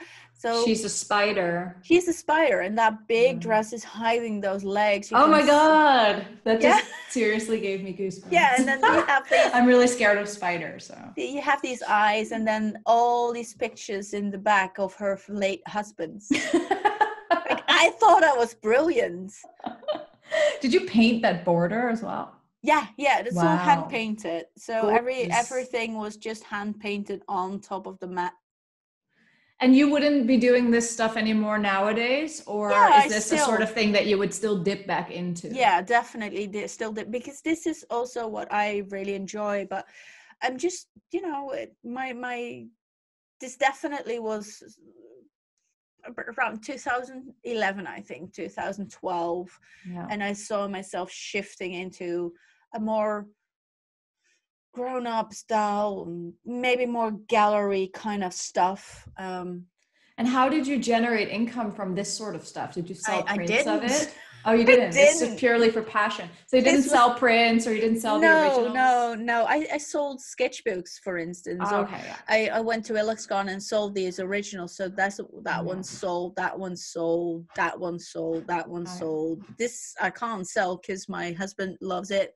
It's, the, it's the misfortune teller. oh um, gosh. I mean, there's a story behind that, and Yeah. like Yeah, they're very, very like detailed, dense, uh, and very storytelling kind of images. yeah, yeah, and it's it they're, they're kind of gruesome, but yeah, not. I I don't think they're gruesome. I I don't think they're scary. But other people look at these and like, oh, that's that's nasty. That's horror, and that's you know that's what I started discovering that I love doing things that could be scary to some and beautiful to others yeah. And that's what i find interesting and that's the i i started finding that balance here and even with this is one of the first sculpts i did It's beautiful. and that's part of that piece and and you know i love that haunting look of that woman just peering at you and uh, for me that's beauty and other people are just haunted by those uh, those empty eyes and and you know this is my marie antoinette. And that's it's based on an official picture of marie antoinette actually with her dress like that.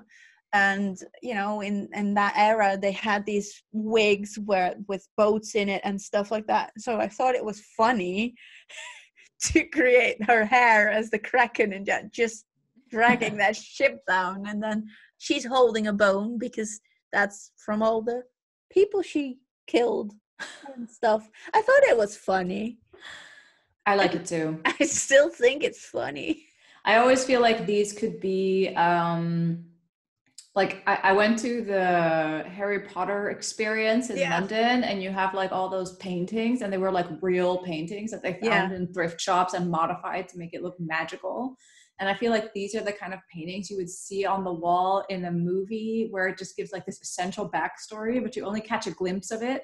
And like, and then later you find out the true story behind it. yeah yeah It has so like cool. a film, a film like quality to it. yeah yeah and uh, i th- i think it's fun to show this because there's there's just a couple of years between these and those first ones after uni Yeah. it's not a lot of time between those but you can see that i just went for it and, and stuck with it and just you know i want to make this i want to do this this is what i want to do.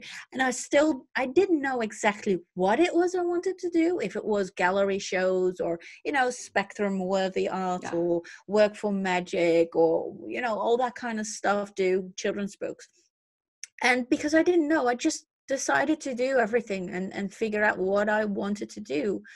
Um which is difficult of course because yeah. you're very fragmented and it's they're very difficult to then find yeah what's you and it's a risk because if you are doing something you like yeah and then just seeing where you go from there then you don't really know how you're going to make a living off of it no. like it's not really a, a strategy for income no. uh, even though it could yield something you don't know for sure yeah no but I didn't need to yield an income. I had a steady job. I was working as a graphic right. designer. So for me, it was never about an income. It was just I wanted to be an artist. I wanted to have my work on show at a gallery show or yeah. something like that. Or yeah, so this, books. so having the steady income give you the freedom on the side yeah. to kind of explore to things. do all of this. So uh, for me, it's I always say like there, there, there seems to be this this stigma of yeah you have to work as an artist immediately, and I'm like yeah it's it's it, it takes a bit more work and more time, but you can there's there's something to say about having that day job to support you and pay your bills and yeah. just to to take that time and that freedom to explore and do whatever the hell you want to do yeah i think a lot of pressure. artists have that situation where they have to get their steady income from a different yeah. job and then they have to um, kind of do their own thing on the side and I, I i think for a lot of people that's a that's something that is like there's there's so much benefits that can be had from the situation. There's also a lot of downsides to yeah. it. But but having like uh, like a lot of people are forced into that position. There's a lot you can get out of it. It doesn't mean that you can't like grow creatively. Yeah, but this is this is just one of those examples of because um, when people look at me now and see what I'm doing now, and I think you have the same thing, is they see where you are now, your success, yeah. and they want that. How did you get there? And they want to try that but what works for me doesn't have to work for you you have yeah. to figure out what works for you and leave um, some space to do what you really love and see what yeah. can grow out of that because yeah. if you try to reverse engineer it and like kind of adapt your creative work to what you think is the right career path you might be throwing out some stuff that are, you're really passionate about right and yeah you have to keep cultivating that yeah definitely okay um so i'm going to show my um side quests. And my first side quest is furry art, or as we called them at the time, anthros. And for a long time, I drew these kind of like half animal, half people characters. Um, I never went like full furry and gave them like a snout or anything. I kept like the human face for the most part, but I added like animal ears and animal tails and fur and like funky colors. Love and, your Care Bear. Yeah, I I was looking at that Care Bear and I was like, how do the hands work? You know what I mean? Because they're yeah. like huge mittens with no loose fingers. But um I didn't really think that one through. I just thought like I don't know, I don't really know like what I was really going for in terms of like sexiness, but I can mm. see that I'm trying to get these characters to be sexy, but like I just didn't really know how like that would work exactly like were they mostly cute or were they attractive or whatever i think i was just playing around um, with the colors mostly. And i think it's funny when i look at these because i kind of ditched this stuff like hard turn away from it uh, when i went to animation school because mm. um, i quickly picked up on the fact that this stuff was ridiculed yeah. like no one liked it um, but i always kind of kept parts of it in my style i think. I think my current style still has this um, chunkiness to it yeah. that I first explored with these anthro slash furry characters, and also a colorful aspect to it. Yeah,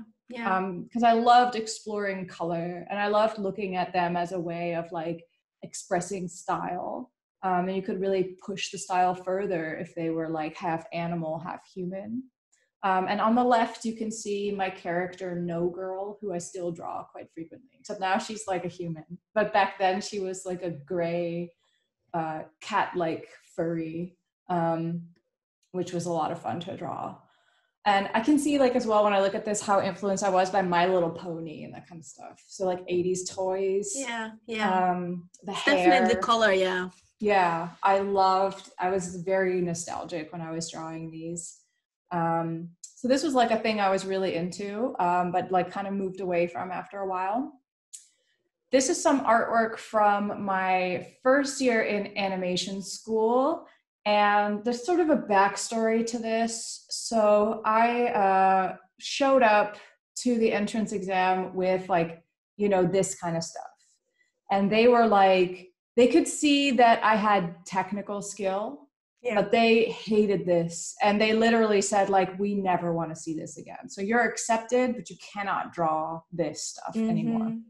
And um, I was like, okay, well, I can handle that but I really couldn't. Uh, so it was really hard for me to like have to throw away everything I liked, and it wasn't really. It was hard for me to understand what did what did they want to see. If I wasn't yeah. going to make like super colorful stuff, what did they want to see? And that was really hard to read. And I think there was a lot of um, culture clash happening as well because I'm Dutch, and and Dutch people put a very high emphasis on clear communication and sometimes are so blunt that they're considered extremely rude but as long as you're honest you know that's the most important yeah. thing and i did my first year of college in belgium at a school yeah. called KASK and there they were belgians don't i think put the same value on honesty they are much more um, subtle, much more indirect. They consider the Dutch way of communicating to be extremely rude and overwhelming. Yeah. Um, but I found because of that, and I also spoke a lot of English rather than Dutch. My Dutch wasn't great because I was living outside of the Netherlands for much of my childhood. Um, and I really struggled to communicate with them, like language wise, but also culture wise. So I just didn't really know what they wanted from me, but I could feel their disapproval, right? So yeah. I uh, tried to adapt to what they wanted to see. And they really liked they liked gags and jokes that kind of like at the expense of someone. Yep. Uh, they liked caricatures. They liked sketches that were like intentionally kind of ugly. They liked stuff that emphasized weirdness and quirks.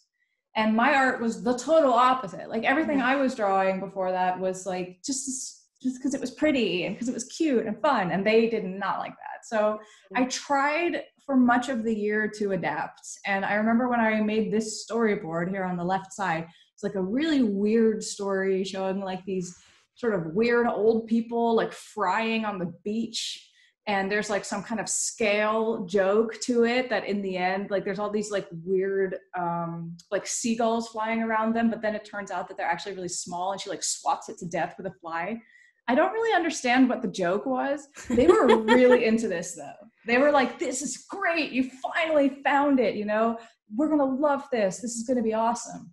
And um, the kind of sketches you see on the right side also got pretty good feedback from them. And I personally, like, just, I, I didn't like it. I didn't like it. I didn't understand it. I didn't. I don't see you it. in it. Like, yeah, there's more of a Carter Goodrich vibe to it. Like that yeah. lady. There, it, it's definitely not Lois. There's. Yeah, it wasn't know, me at all. You lost yourself here. Yeah, definitely. Basically, what happened to me happened to you as well. Yeah, and I felt very like proud for like yeah. a minute that I had finally achieved something they liked, and then yeah. I instantly was like, I can't do this anymore. And I literally yeah. one day, this is something that I have to emphasize. I was extremely privileged in being able to do this because um, uh, art school in Belgium for Dutch citizens and also Dutch art school was very affordable at the time. So I just one day just didn't come back. I just went home to my mom's and I just, because uh, she lived in Brussels, it was like about half an hour with the train. And I got there and I just didn't go back. I was like, I just, I just don't want to. And I, it wasn't even a conscious choice. I just physically couldn't. You know, if I mm. had to get up and go back to school, yeah. I just couldn't. So I just. I mean, I, I understand that because basically they, they killed what was you. Yeah, that's what it felt like for sure. Okay. But actually, I killed what was me. Yeah, you I let didn't them. defend. Like, yeah, you let you let them. Yeah, and I didn't understand why I wasn't comfortable in this stuff. Yeah, So I felt yeah. very guilty because the stuff that I drew before was super girly, and I could notice that people did not like girly. They thought that girly was like for babies. And Yeah. now that I'm older, I can see that there's a lot of sexism to that. Uh, there was a lot of like, oh, this is too, um, you know, because there there are a lot of like um, male students who also made very you know simple art that didn't have a deeper level. But because it wasn't like extremely disgustingly feminine they didn't really have as much of a problem with it you know? So there was a lot of like layers Yeah, of um things going on. But I, honestly i really didn't know how to defend what i wanted to do. So i just like I, the only thing i could think of was to just literally flee and never how old were you? How old were you? uh i was 19 Yeah, yeah. Well, you know, it's recognize I recognize this because I was 18 when I went to art school, so 19 when I had to choose a a course of what I wanted to do, and this is so so similar. Yeah you're Yeah. very vulnerable at that age I Oh, think. you're It's so because you don't have yourself. a clue what you're doing. Yeah. You don't have a clue what you're doing. You're thinking, okay, I'm going to art school. I'm going to animation school. uh, This is it. This is this is it. This is going to learn how to be an artist. and you are not you're you're getting just the, some tools but it's Yeah. definitely not the only way Yeah, and especially if there's a lot of communication, like miscommunication, Yeah. it's almost like not worth it, you know? And that's Yeah. something that looking back, I could see that like I was really wasting my time and my money by going to that school because it just wasn't the place where I would be able to learn the communication Mm. skills needed, you know, to get into the work field. I think yeah for others it would have been the right place but for Yeah. me personally just the click wasn't there the communication style wasn't natural for me but Um, nowadays I you don't so have guilty. to go yeah, you, yeah, nowadays, you you don't have to go. And there are a so lot of many- people who share their negative experiences about art school and i think if that had been more of like an openly discussed topic at the time i would have felt less like uh, i was doing something wrong and Yeah. identified more like no it's just the the- lack of connection like no click yeah the institute doesn't really back then didn't really um you know clicked they it didn't fit the the what you know how do you say that? It didn't fit um, the the the help me out here. I'm i'm i'm dying here. Or what people wanted to do. Yeah what what people wanted to do or what the industry fit, was doing. didn't fit the industry. It was just yeah. I very very much felt like you had to be an artist. As Yeah, I in had just yeah. throw some throw some paint on that canvas look at it and call it art yeah, yeah, and just have a really bullshit story. see- they didn't see that there was like a career that could be built on Yeah. making kind of fan art type of stuff. Yeah, Just like now you see that a lot, but back then that was like not. yeah and i think internet has a big big chunk in this that the the, the way of learning has changed significantly and then you have Mm. schoolism and all these online art schools that are affordable you don't have to go to a very expensive art university to learn these things exactly. um, so and you can learn them in an environment that's less like Yeah. all encompassing because Yeah. being away from home being out you know like It's living tough. on my own in a different country was very, very alienating Yeah. um and this is the last thing that's sort of about um oh no no no no this is for the next part and the next part is ooh turning points. Turning and now point. it's your turn today ooh yeah. That's the Okay. last section we're going into. We're- this is this is long. It is. We've gone everybody's over. still sticking around by this time, like kudos to you for listening to us. like oh man. Well my turning points were uh, things like this. Um at tw- in 2016 i completely uh felt like a, a failure and uh, i didn't get any jobs and and and i wasn't doing i wasn't being fulfilled by what i was doing. You know i, I was doing all these these children's books and stuff like that and it just it, it was like oh all of this was nah you know it wasn't i didn't feel it. And um yeah, I decided to just go back to sketching, like way back, and uh, used the prompt mermaid that I saw on Instagram. I started drawing these weird mermaids, and pages and pages and pages and pages were filled with just weird mermaids and and i found my way back to to what i love doing and i saw my my style or my the way i drew uh, evolve from there and that was quite quickly actually that really went really uh, just you know in a couple of months I just clicked. found it clicked. It yeah. completely clicked, and then the big click was was that image on the left that that green man. I was painting that one. It was June, and you know June fate.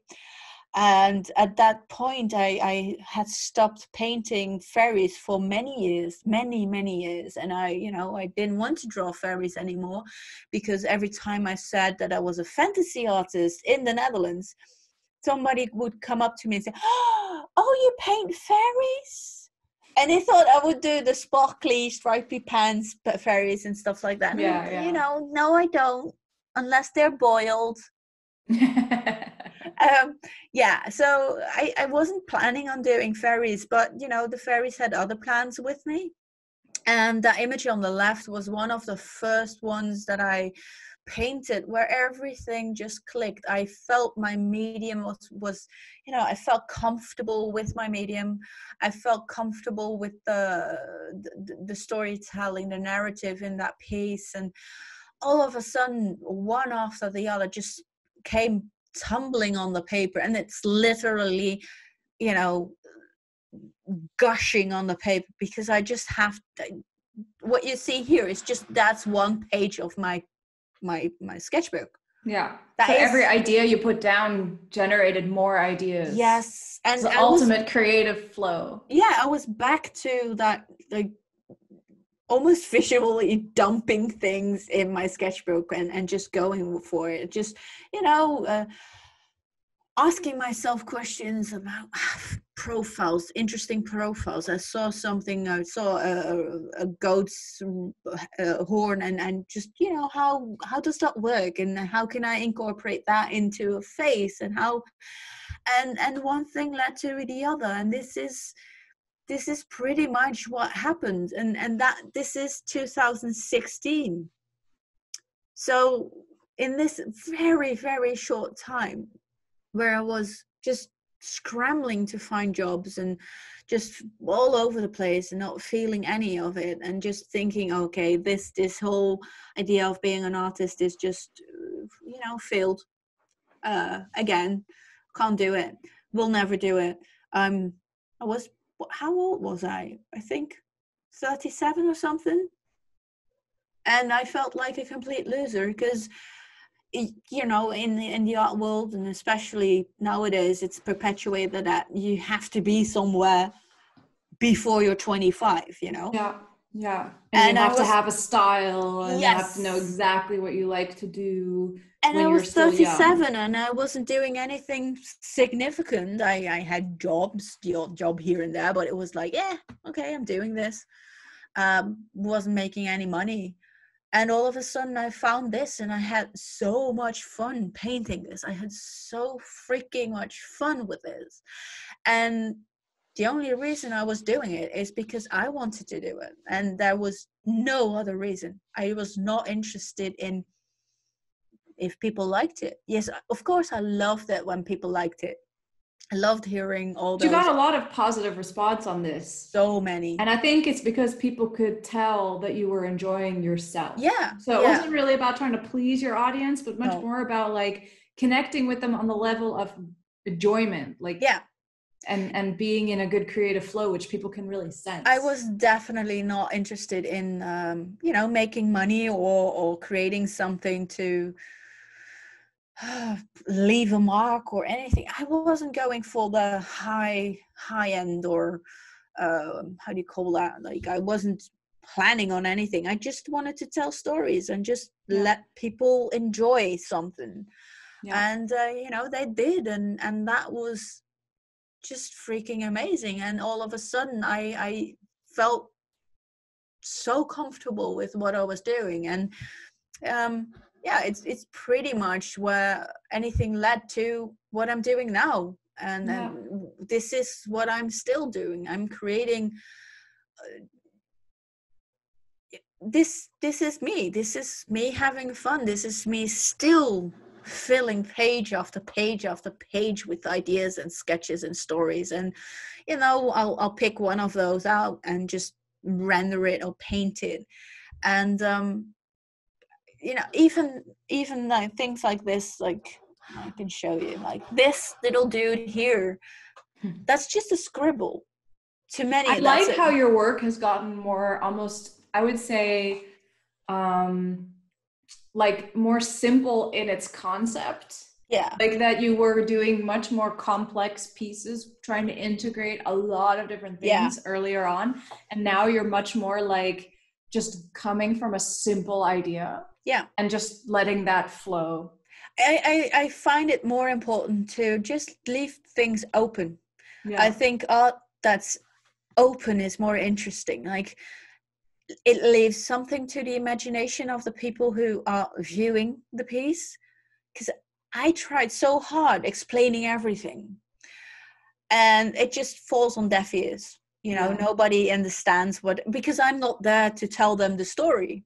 Yeah. Um, whereas what I'm doing now is much more like it gives a hint of a story, a hint of an idea, and I leave it up to the viewer to finalize their version of that story. So, uh, for me, that's then the art becomes alive. Uh, Yeah. and it lives on and not just with me but with everybody who watches it so yeah that that's you know that is just that's just 2016 2017 was the eye opener. This book happened fairies over Yeah. fault lines. That new new edition of that one is coming out next year. But you know i'm still doing whatever i want to do. I'm still making sculpts because i want to do that and i have fun with it. And i feel that when i'm doing t- three-dimensional stuff it informs my two-dimensional stuff as well. Yeah. um, but I've given up on on digital, for instance. I just I don't have that connection with digital. I need my paints. I need to feel. Uh, I need to touch my paper. I need to have that connection with my surface, and I have to get get that connection with the paint.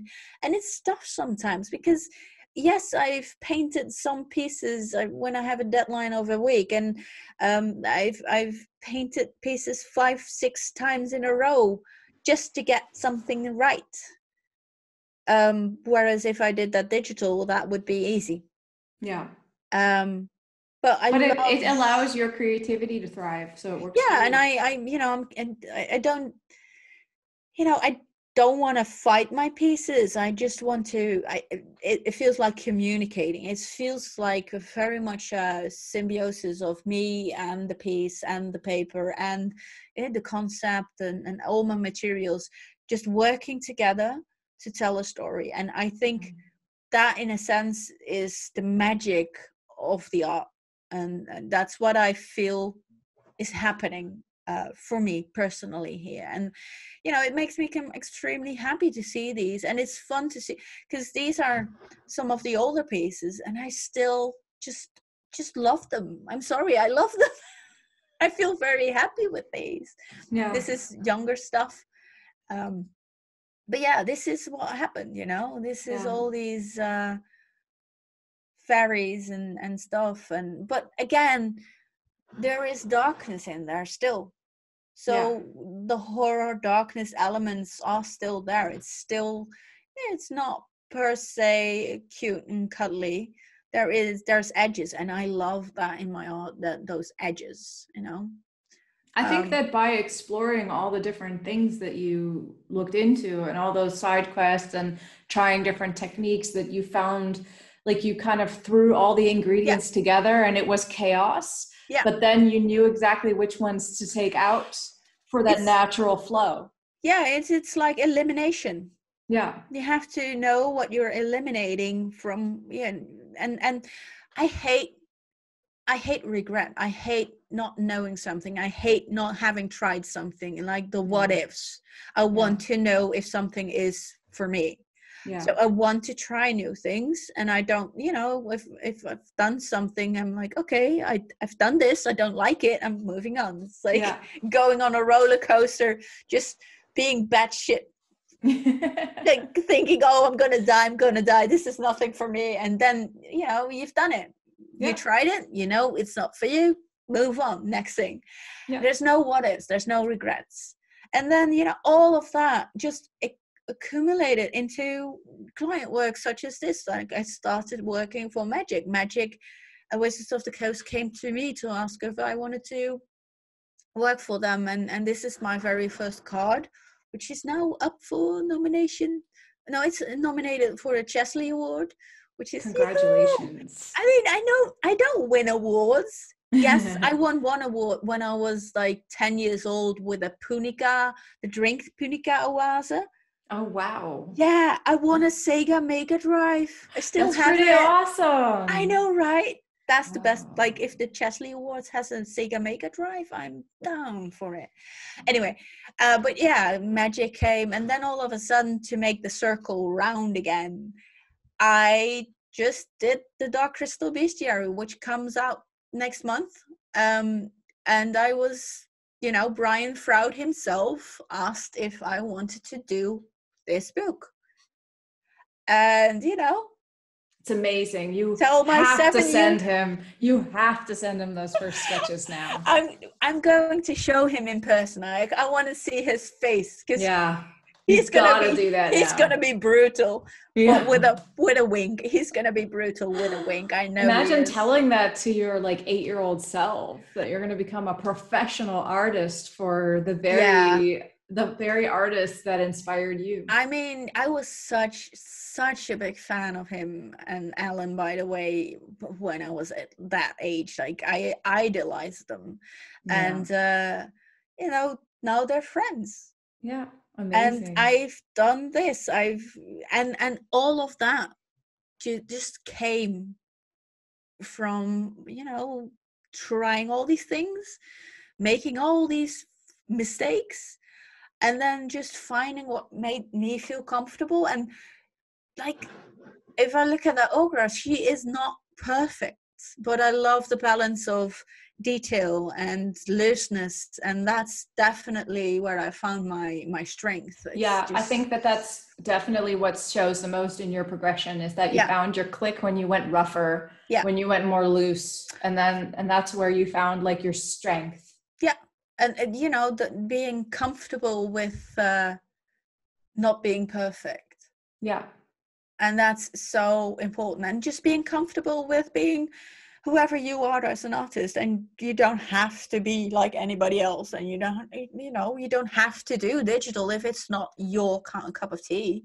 Yeah, uh, and and and you know then whatever else everybody else is saying just make sure that you're as quick as everybody else i mean this there's no digital enhancement other than value change you know in color uh, photoshop but yeah. there's nothing that light is just freaking paint it's traditional paint it's not a photoshop filter thingy and i'm doing it Congratulations. sorry but you know I'm, I'm like yeah i made All it right.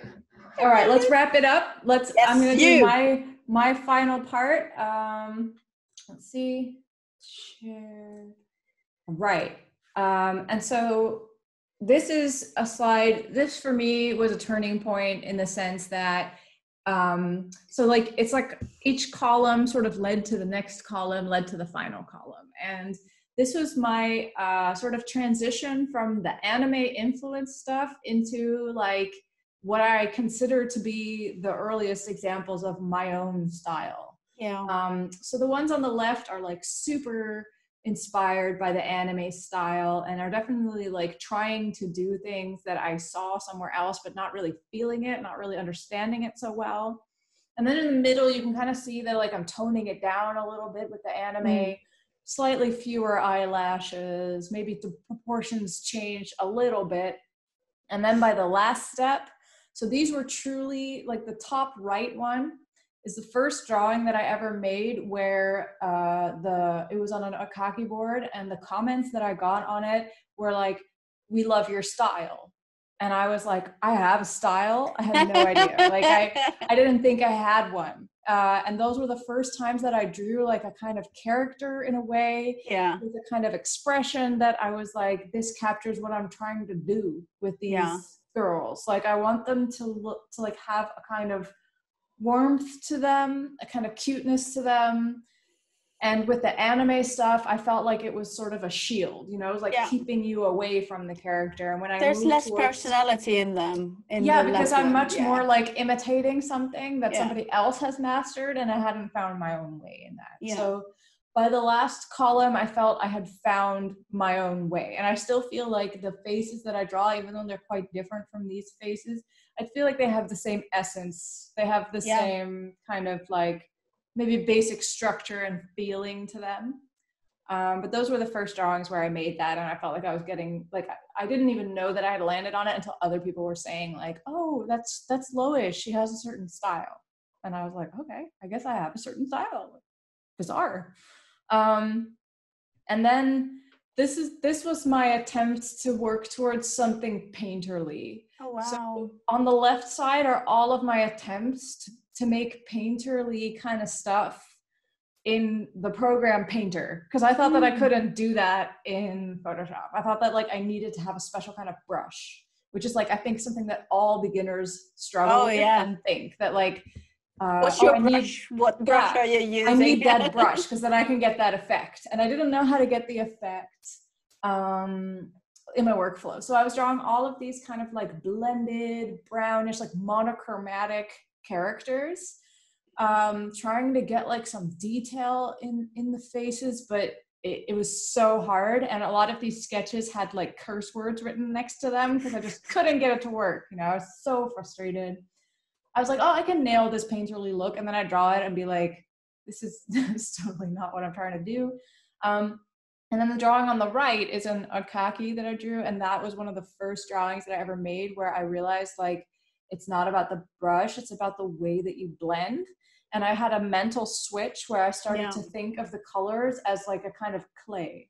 And I started thinking of color as sculpting um, Mm. rather than um, you know like mimicking an effect from the outside. And so i started thinking about the shape of the arm and the collarbones which are like super extreme but i was like pushing it because i was sort of trying to bring out the shape with with uh, light and shadow. And i went kind of all out with this and just painted all over it. And you, you, you saw in my earlier art that cross hatching was a thing for me. And i sort of found out how to translate the cross hatching to blending color and that that would help me get the more painterly style I love that nose, by the way. it's, it's- very like extreme it's very pointy I yeah, but I love though, you know, the shadow, that that you know, the redness. I love it. yeah i've always had a fascination with like like from the very earliest steps of trying to get this um, manga style down which later became more semi-realistic i wanted to get the form down like i didn't want to just have it look a certain way i wanted to get the shapes right so that Yeah. it could feel three-dimensional and that was like my Yeah. main struggle early on and that's why noses have always been a thing for me because I always wanted to show that the nose is like sticking out and it's not just like two dots on the face, but that it has a form, you know? And Yeah. and I think a lot of early on I got a lot of comments from people saying like I love how you draw like real women with real curves, which is like something that now I'm always like, well, you know, what's a real woman? Like let's Yeah. not get into that. Um let's not judge what a real woman is but uh, I get why they said that. I think because I was really trying to get the shape. I was like really focused on getting the three dimensionality. Whereas in a lot of like similar styles at that time in 2004, 2003, like skinniness was like really a thing. Like Yeah. everyone was very thin or wanted to be very thin and like nowadays you have like thick is like a positive thing to say but in 2003 that was like horrendous like you had these actresses who are like celebrated for being more curvy and i would look Yeah. at them and be like they're not curvy they're literally like just maybe five pounds heavier than Paris Hilton. You know, there was like not a lot of um, appreciation for like the thickness of a character. Yeah. And I always wanted to capture that. Like, I don't know, because it made them feel more real. So that's what was my obsession with painterliness. Um, and this is my final slide. These are some of the drawings that I made that like I I felt like I had finally figured something out. Um, mm. So f- the one on the left is like a pixelated drawing from Oekaki. And what I learned when I was drawing that is that if you keep the colors in a similar color range, you can like go in all directions as long as you like stay in the range of that first color. So I went for like these earthy tones and then I added some greens, I added some yellows, I added some pinks, I added some reds. And then I realized like as long as you stay in a similar range and kind of like go uh, stray out from there, but not too far, and then you have that one accent that, that catches the eye, then the colors can really work, you know, yeah. and you can yeah. you can get really adventurous with the shadows and the highlights as long as they're similar. Um, and in these shadows, I added a lot of color to them as well, like some green tones and some desaturated tones, and and that's where I really learned the basic principles that I still use all the time in my art, which is like yeah. don't just use lighter version of the base color, darker version of the base color, but get adventurous with the colors that you add and, and be playful with them. And so this Oekaki is one of the first times that I really felt like I had found that and I could really explore the colors. Um, the one in the middle was one of my first popular drawings on DeviantArt, and that's the first time that I learned that like if I add a little bit of like a lighter gray in the shadows, that it feels much more 3D. Mm-hmm. And when I mm-hmm. drew this character, like I really felt that she was like I could picture her as like a figurine or something. Yeah, yeah. that three dimensional feel. She does, and and the proportions, like these small shoulders and then like giant feet. Um, when I drew this, I was like, I got this. Like I figured out something that I really like. You know, oh, this, this is you know this goes back to your furries. I mean, yeah.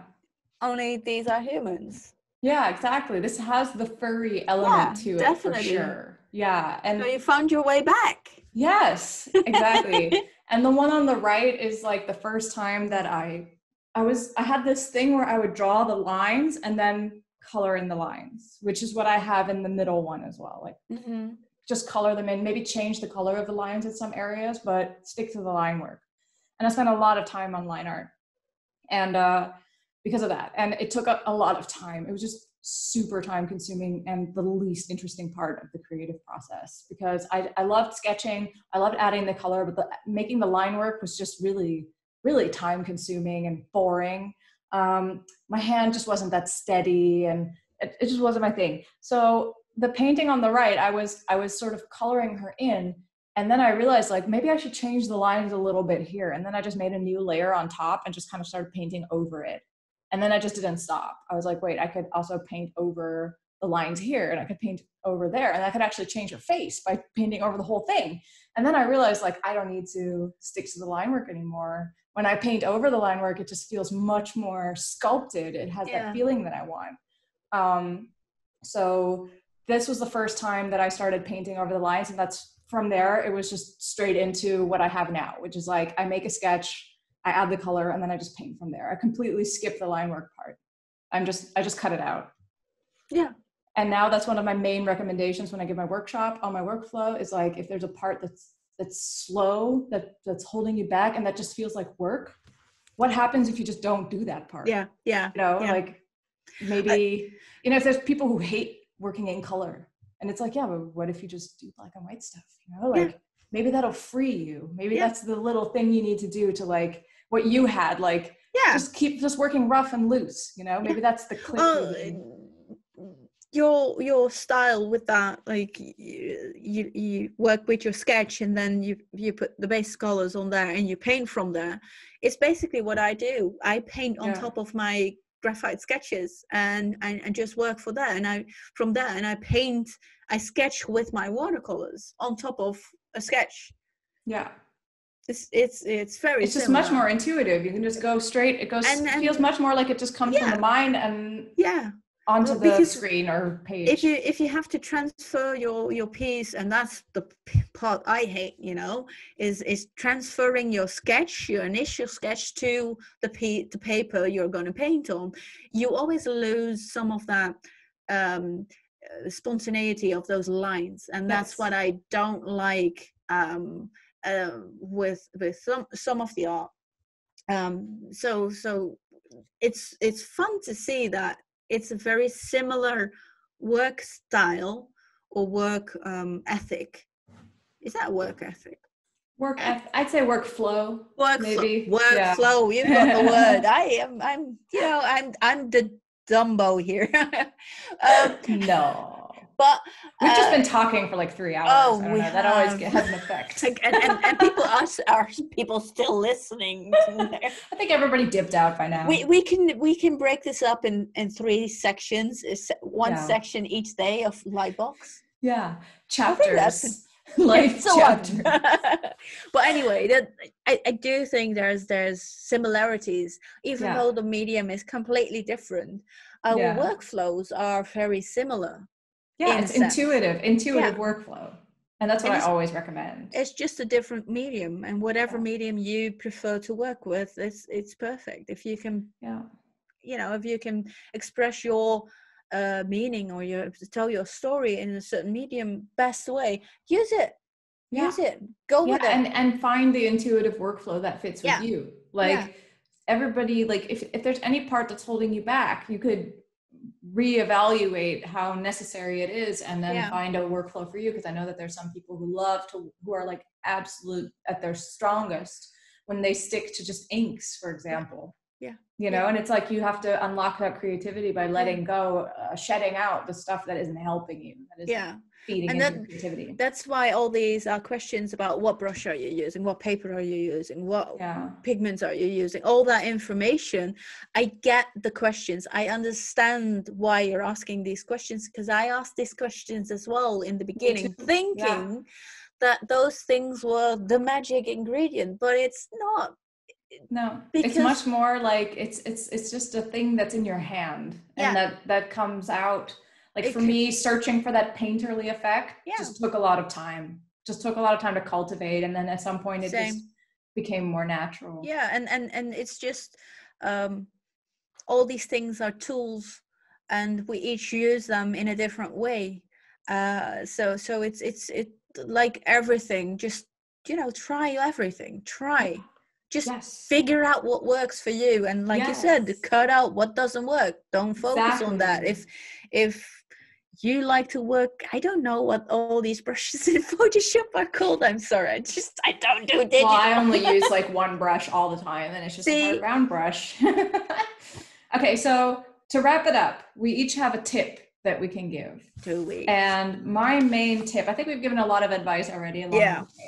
But my main tip that I want to give anyone who made it this far into the stream is to indulge in your guilty pleasure. That's that's truly my main advice. Like you have something that you love to draw and maybe because of like what other people say around you or what teachers have said to you or parents or whatever, you kind of feel like it's embarrassing or silly. Um, and we also talked about our own art during this live stream, like, oh, you know, this is very embarrassing. Um, but you know, there's actually it's not because you just shouldn't feel any shame over stuff that you enjoyed doing, and you have to keep a little part of your artistic practice that is like just for you and that you do just because you love it and uh, you, you can't throw it all away because there's like some gatekeeping in the art community about what is and isn't acceptable kind of genres or types of art. So I always say, don't ignore your guilty pleasure. Keep it as your artistic safe place. Don't let it go. You might have to put it aside for a little bit because you have a different focus for a while, but keep keep holding on to it, like and and indulge in your guilty pleasure every now and then. Yeah, yeah, good tip. Um, yeah, um, for me, it's it's definitely. I've I've said this before. Say it again. Try everything. Try as many things you want to try, and just you know indulge yourself. You know, uh, figure out what works for you. Uh, sketch a lot. Sketch often. Uh, all those those um, excuses of I haven't got the time. Well, you sit on the toilet. That's that's five minutes a day, ten minutes a day, whatever. Have a sketchbook there. Sketch. Um, you know, don't be afraid of making mistakes. I, I so many people are so afraid of making mistakes and and just not you know they want to create that perfect image and it doesn't exist. I hate to say it to you but it won't be perfect. No, nothing you create will be perfect. It will never be what you have in mind and each and every one uh, every piece you create will be the next perfect piece. Yeah. Um so you know embrace all those mistakes and they they are the source of your learning uh, you learn more more from those mistakes than you'll ever learn from from from your successes i think yeah, uh, and there's no such thing as a mistake really no, in art. no. It's much more like you can look at it from a certain point of view and and think about whether it was what you were trying to achieve. But even then, like other people can see beauty in it where you yeah don't. i mean look at what we've shown you and all those those embar- embarrassing things i still look at those fondly and think oh hey i mean there's there's stuff i've seen and I'm I'm I'm looking at it and I'm thinking, hmm, how can I just you know that idea? I I like that idea I that I did 20 years ago. Let's take that and try and try this now. So all that old stuff has value. Um, so for me, it's not embarrassing. Um, it's all part of a journey. It's it's part of who I became and who who Lois became. So don't don't be afraid. Don't just try things. Make mistakes. Fuck up now and then, and uh, change course. Change your mind, but do it with a hundred percent of you. Yeah, that's beautiful. Yay. I, I, I make sense sometimes. Yeah, I do. You're a wise, wise lady. You're a wise old woman. That's what you wanted to say. I know you were. oh wow. I am too. We're not. We're like pretty much the same age, aren't we? I think you're. I'm way older. We're close. We're close. Well, you know, we're old enough to be giving advice anyway. So here we are. I'm a cackling crone, so I can do this. All right. Well, we made it this far. It's um, under three hours. Incredible. I think our first goal was to keep it an hour long, but um, well, you know. hey, I had fun. glad that I had the chance to say everything I wanted to say. Because yeah. in those real life panels that are shorter, I always feel like I walk away like, oh, there's so much more I wanted to say about that. Um, all right, so thank you so much, everyone who tuned in, everybody who watched. And remember, um, you'll be able to watch this stream again at a later point. We are streaming at two separate time frames, which we'll specify in our social media. And uh, after that, you can still come back and watch this. So you can watch it in short intervals if that works for you. Um, so whatever works for you, no pressure. And I hope you guys enjoy the rest of Lightbox and that you enjoyed this stream. And remember to always keep drawing and always try new things. Bye bye.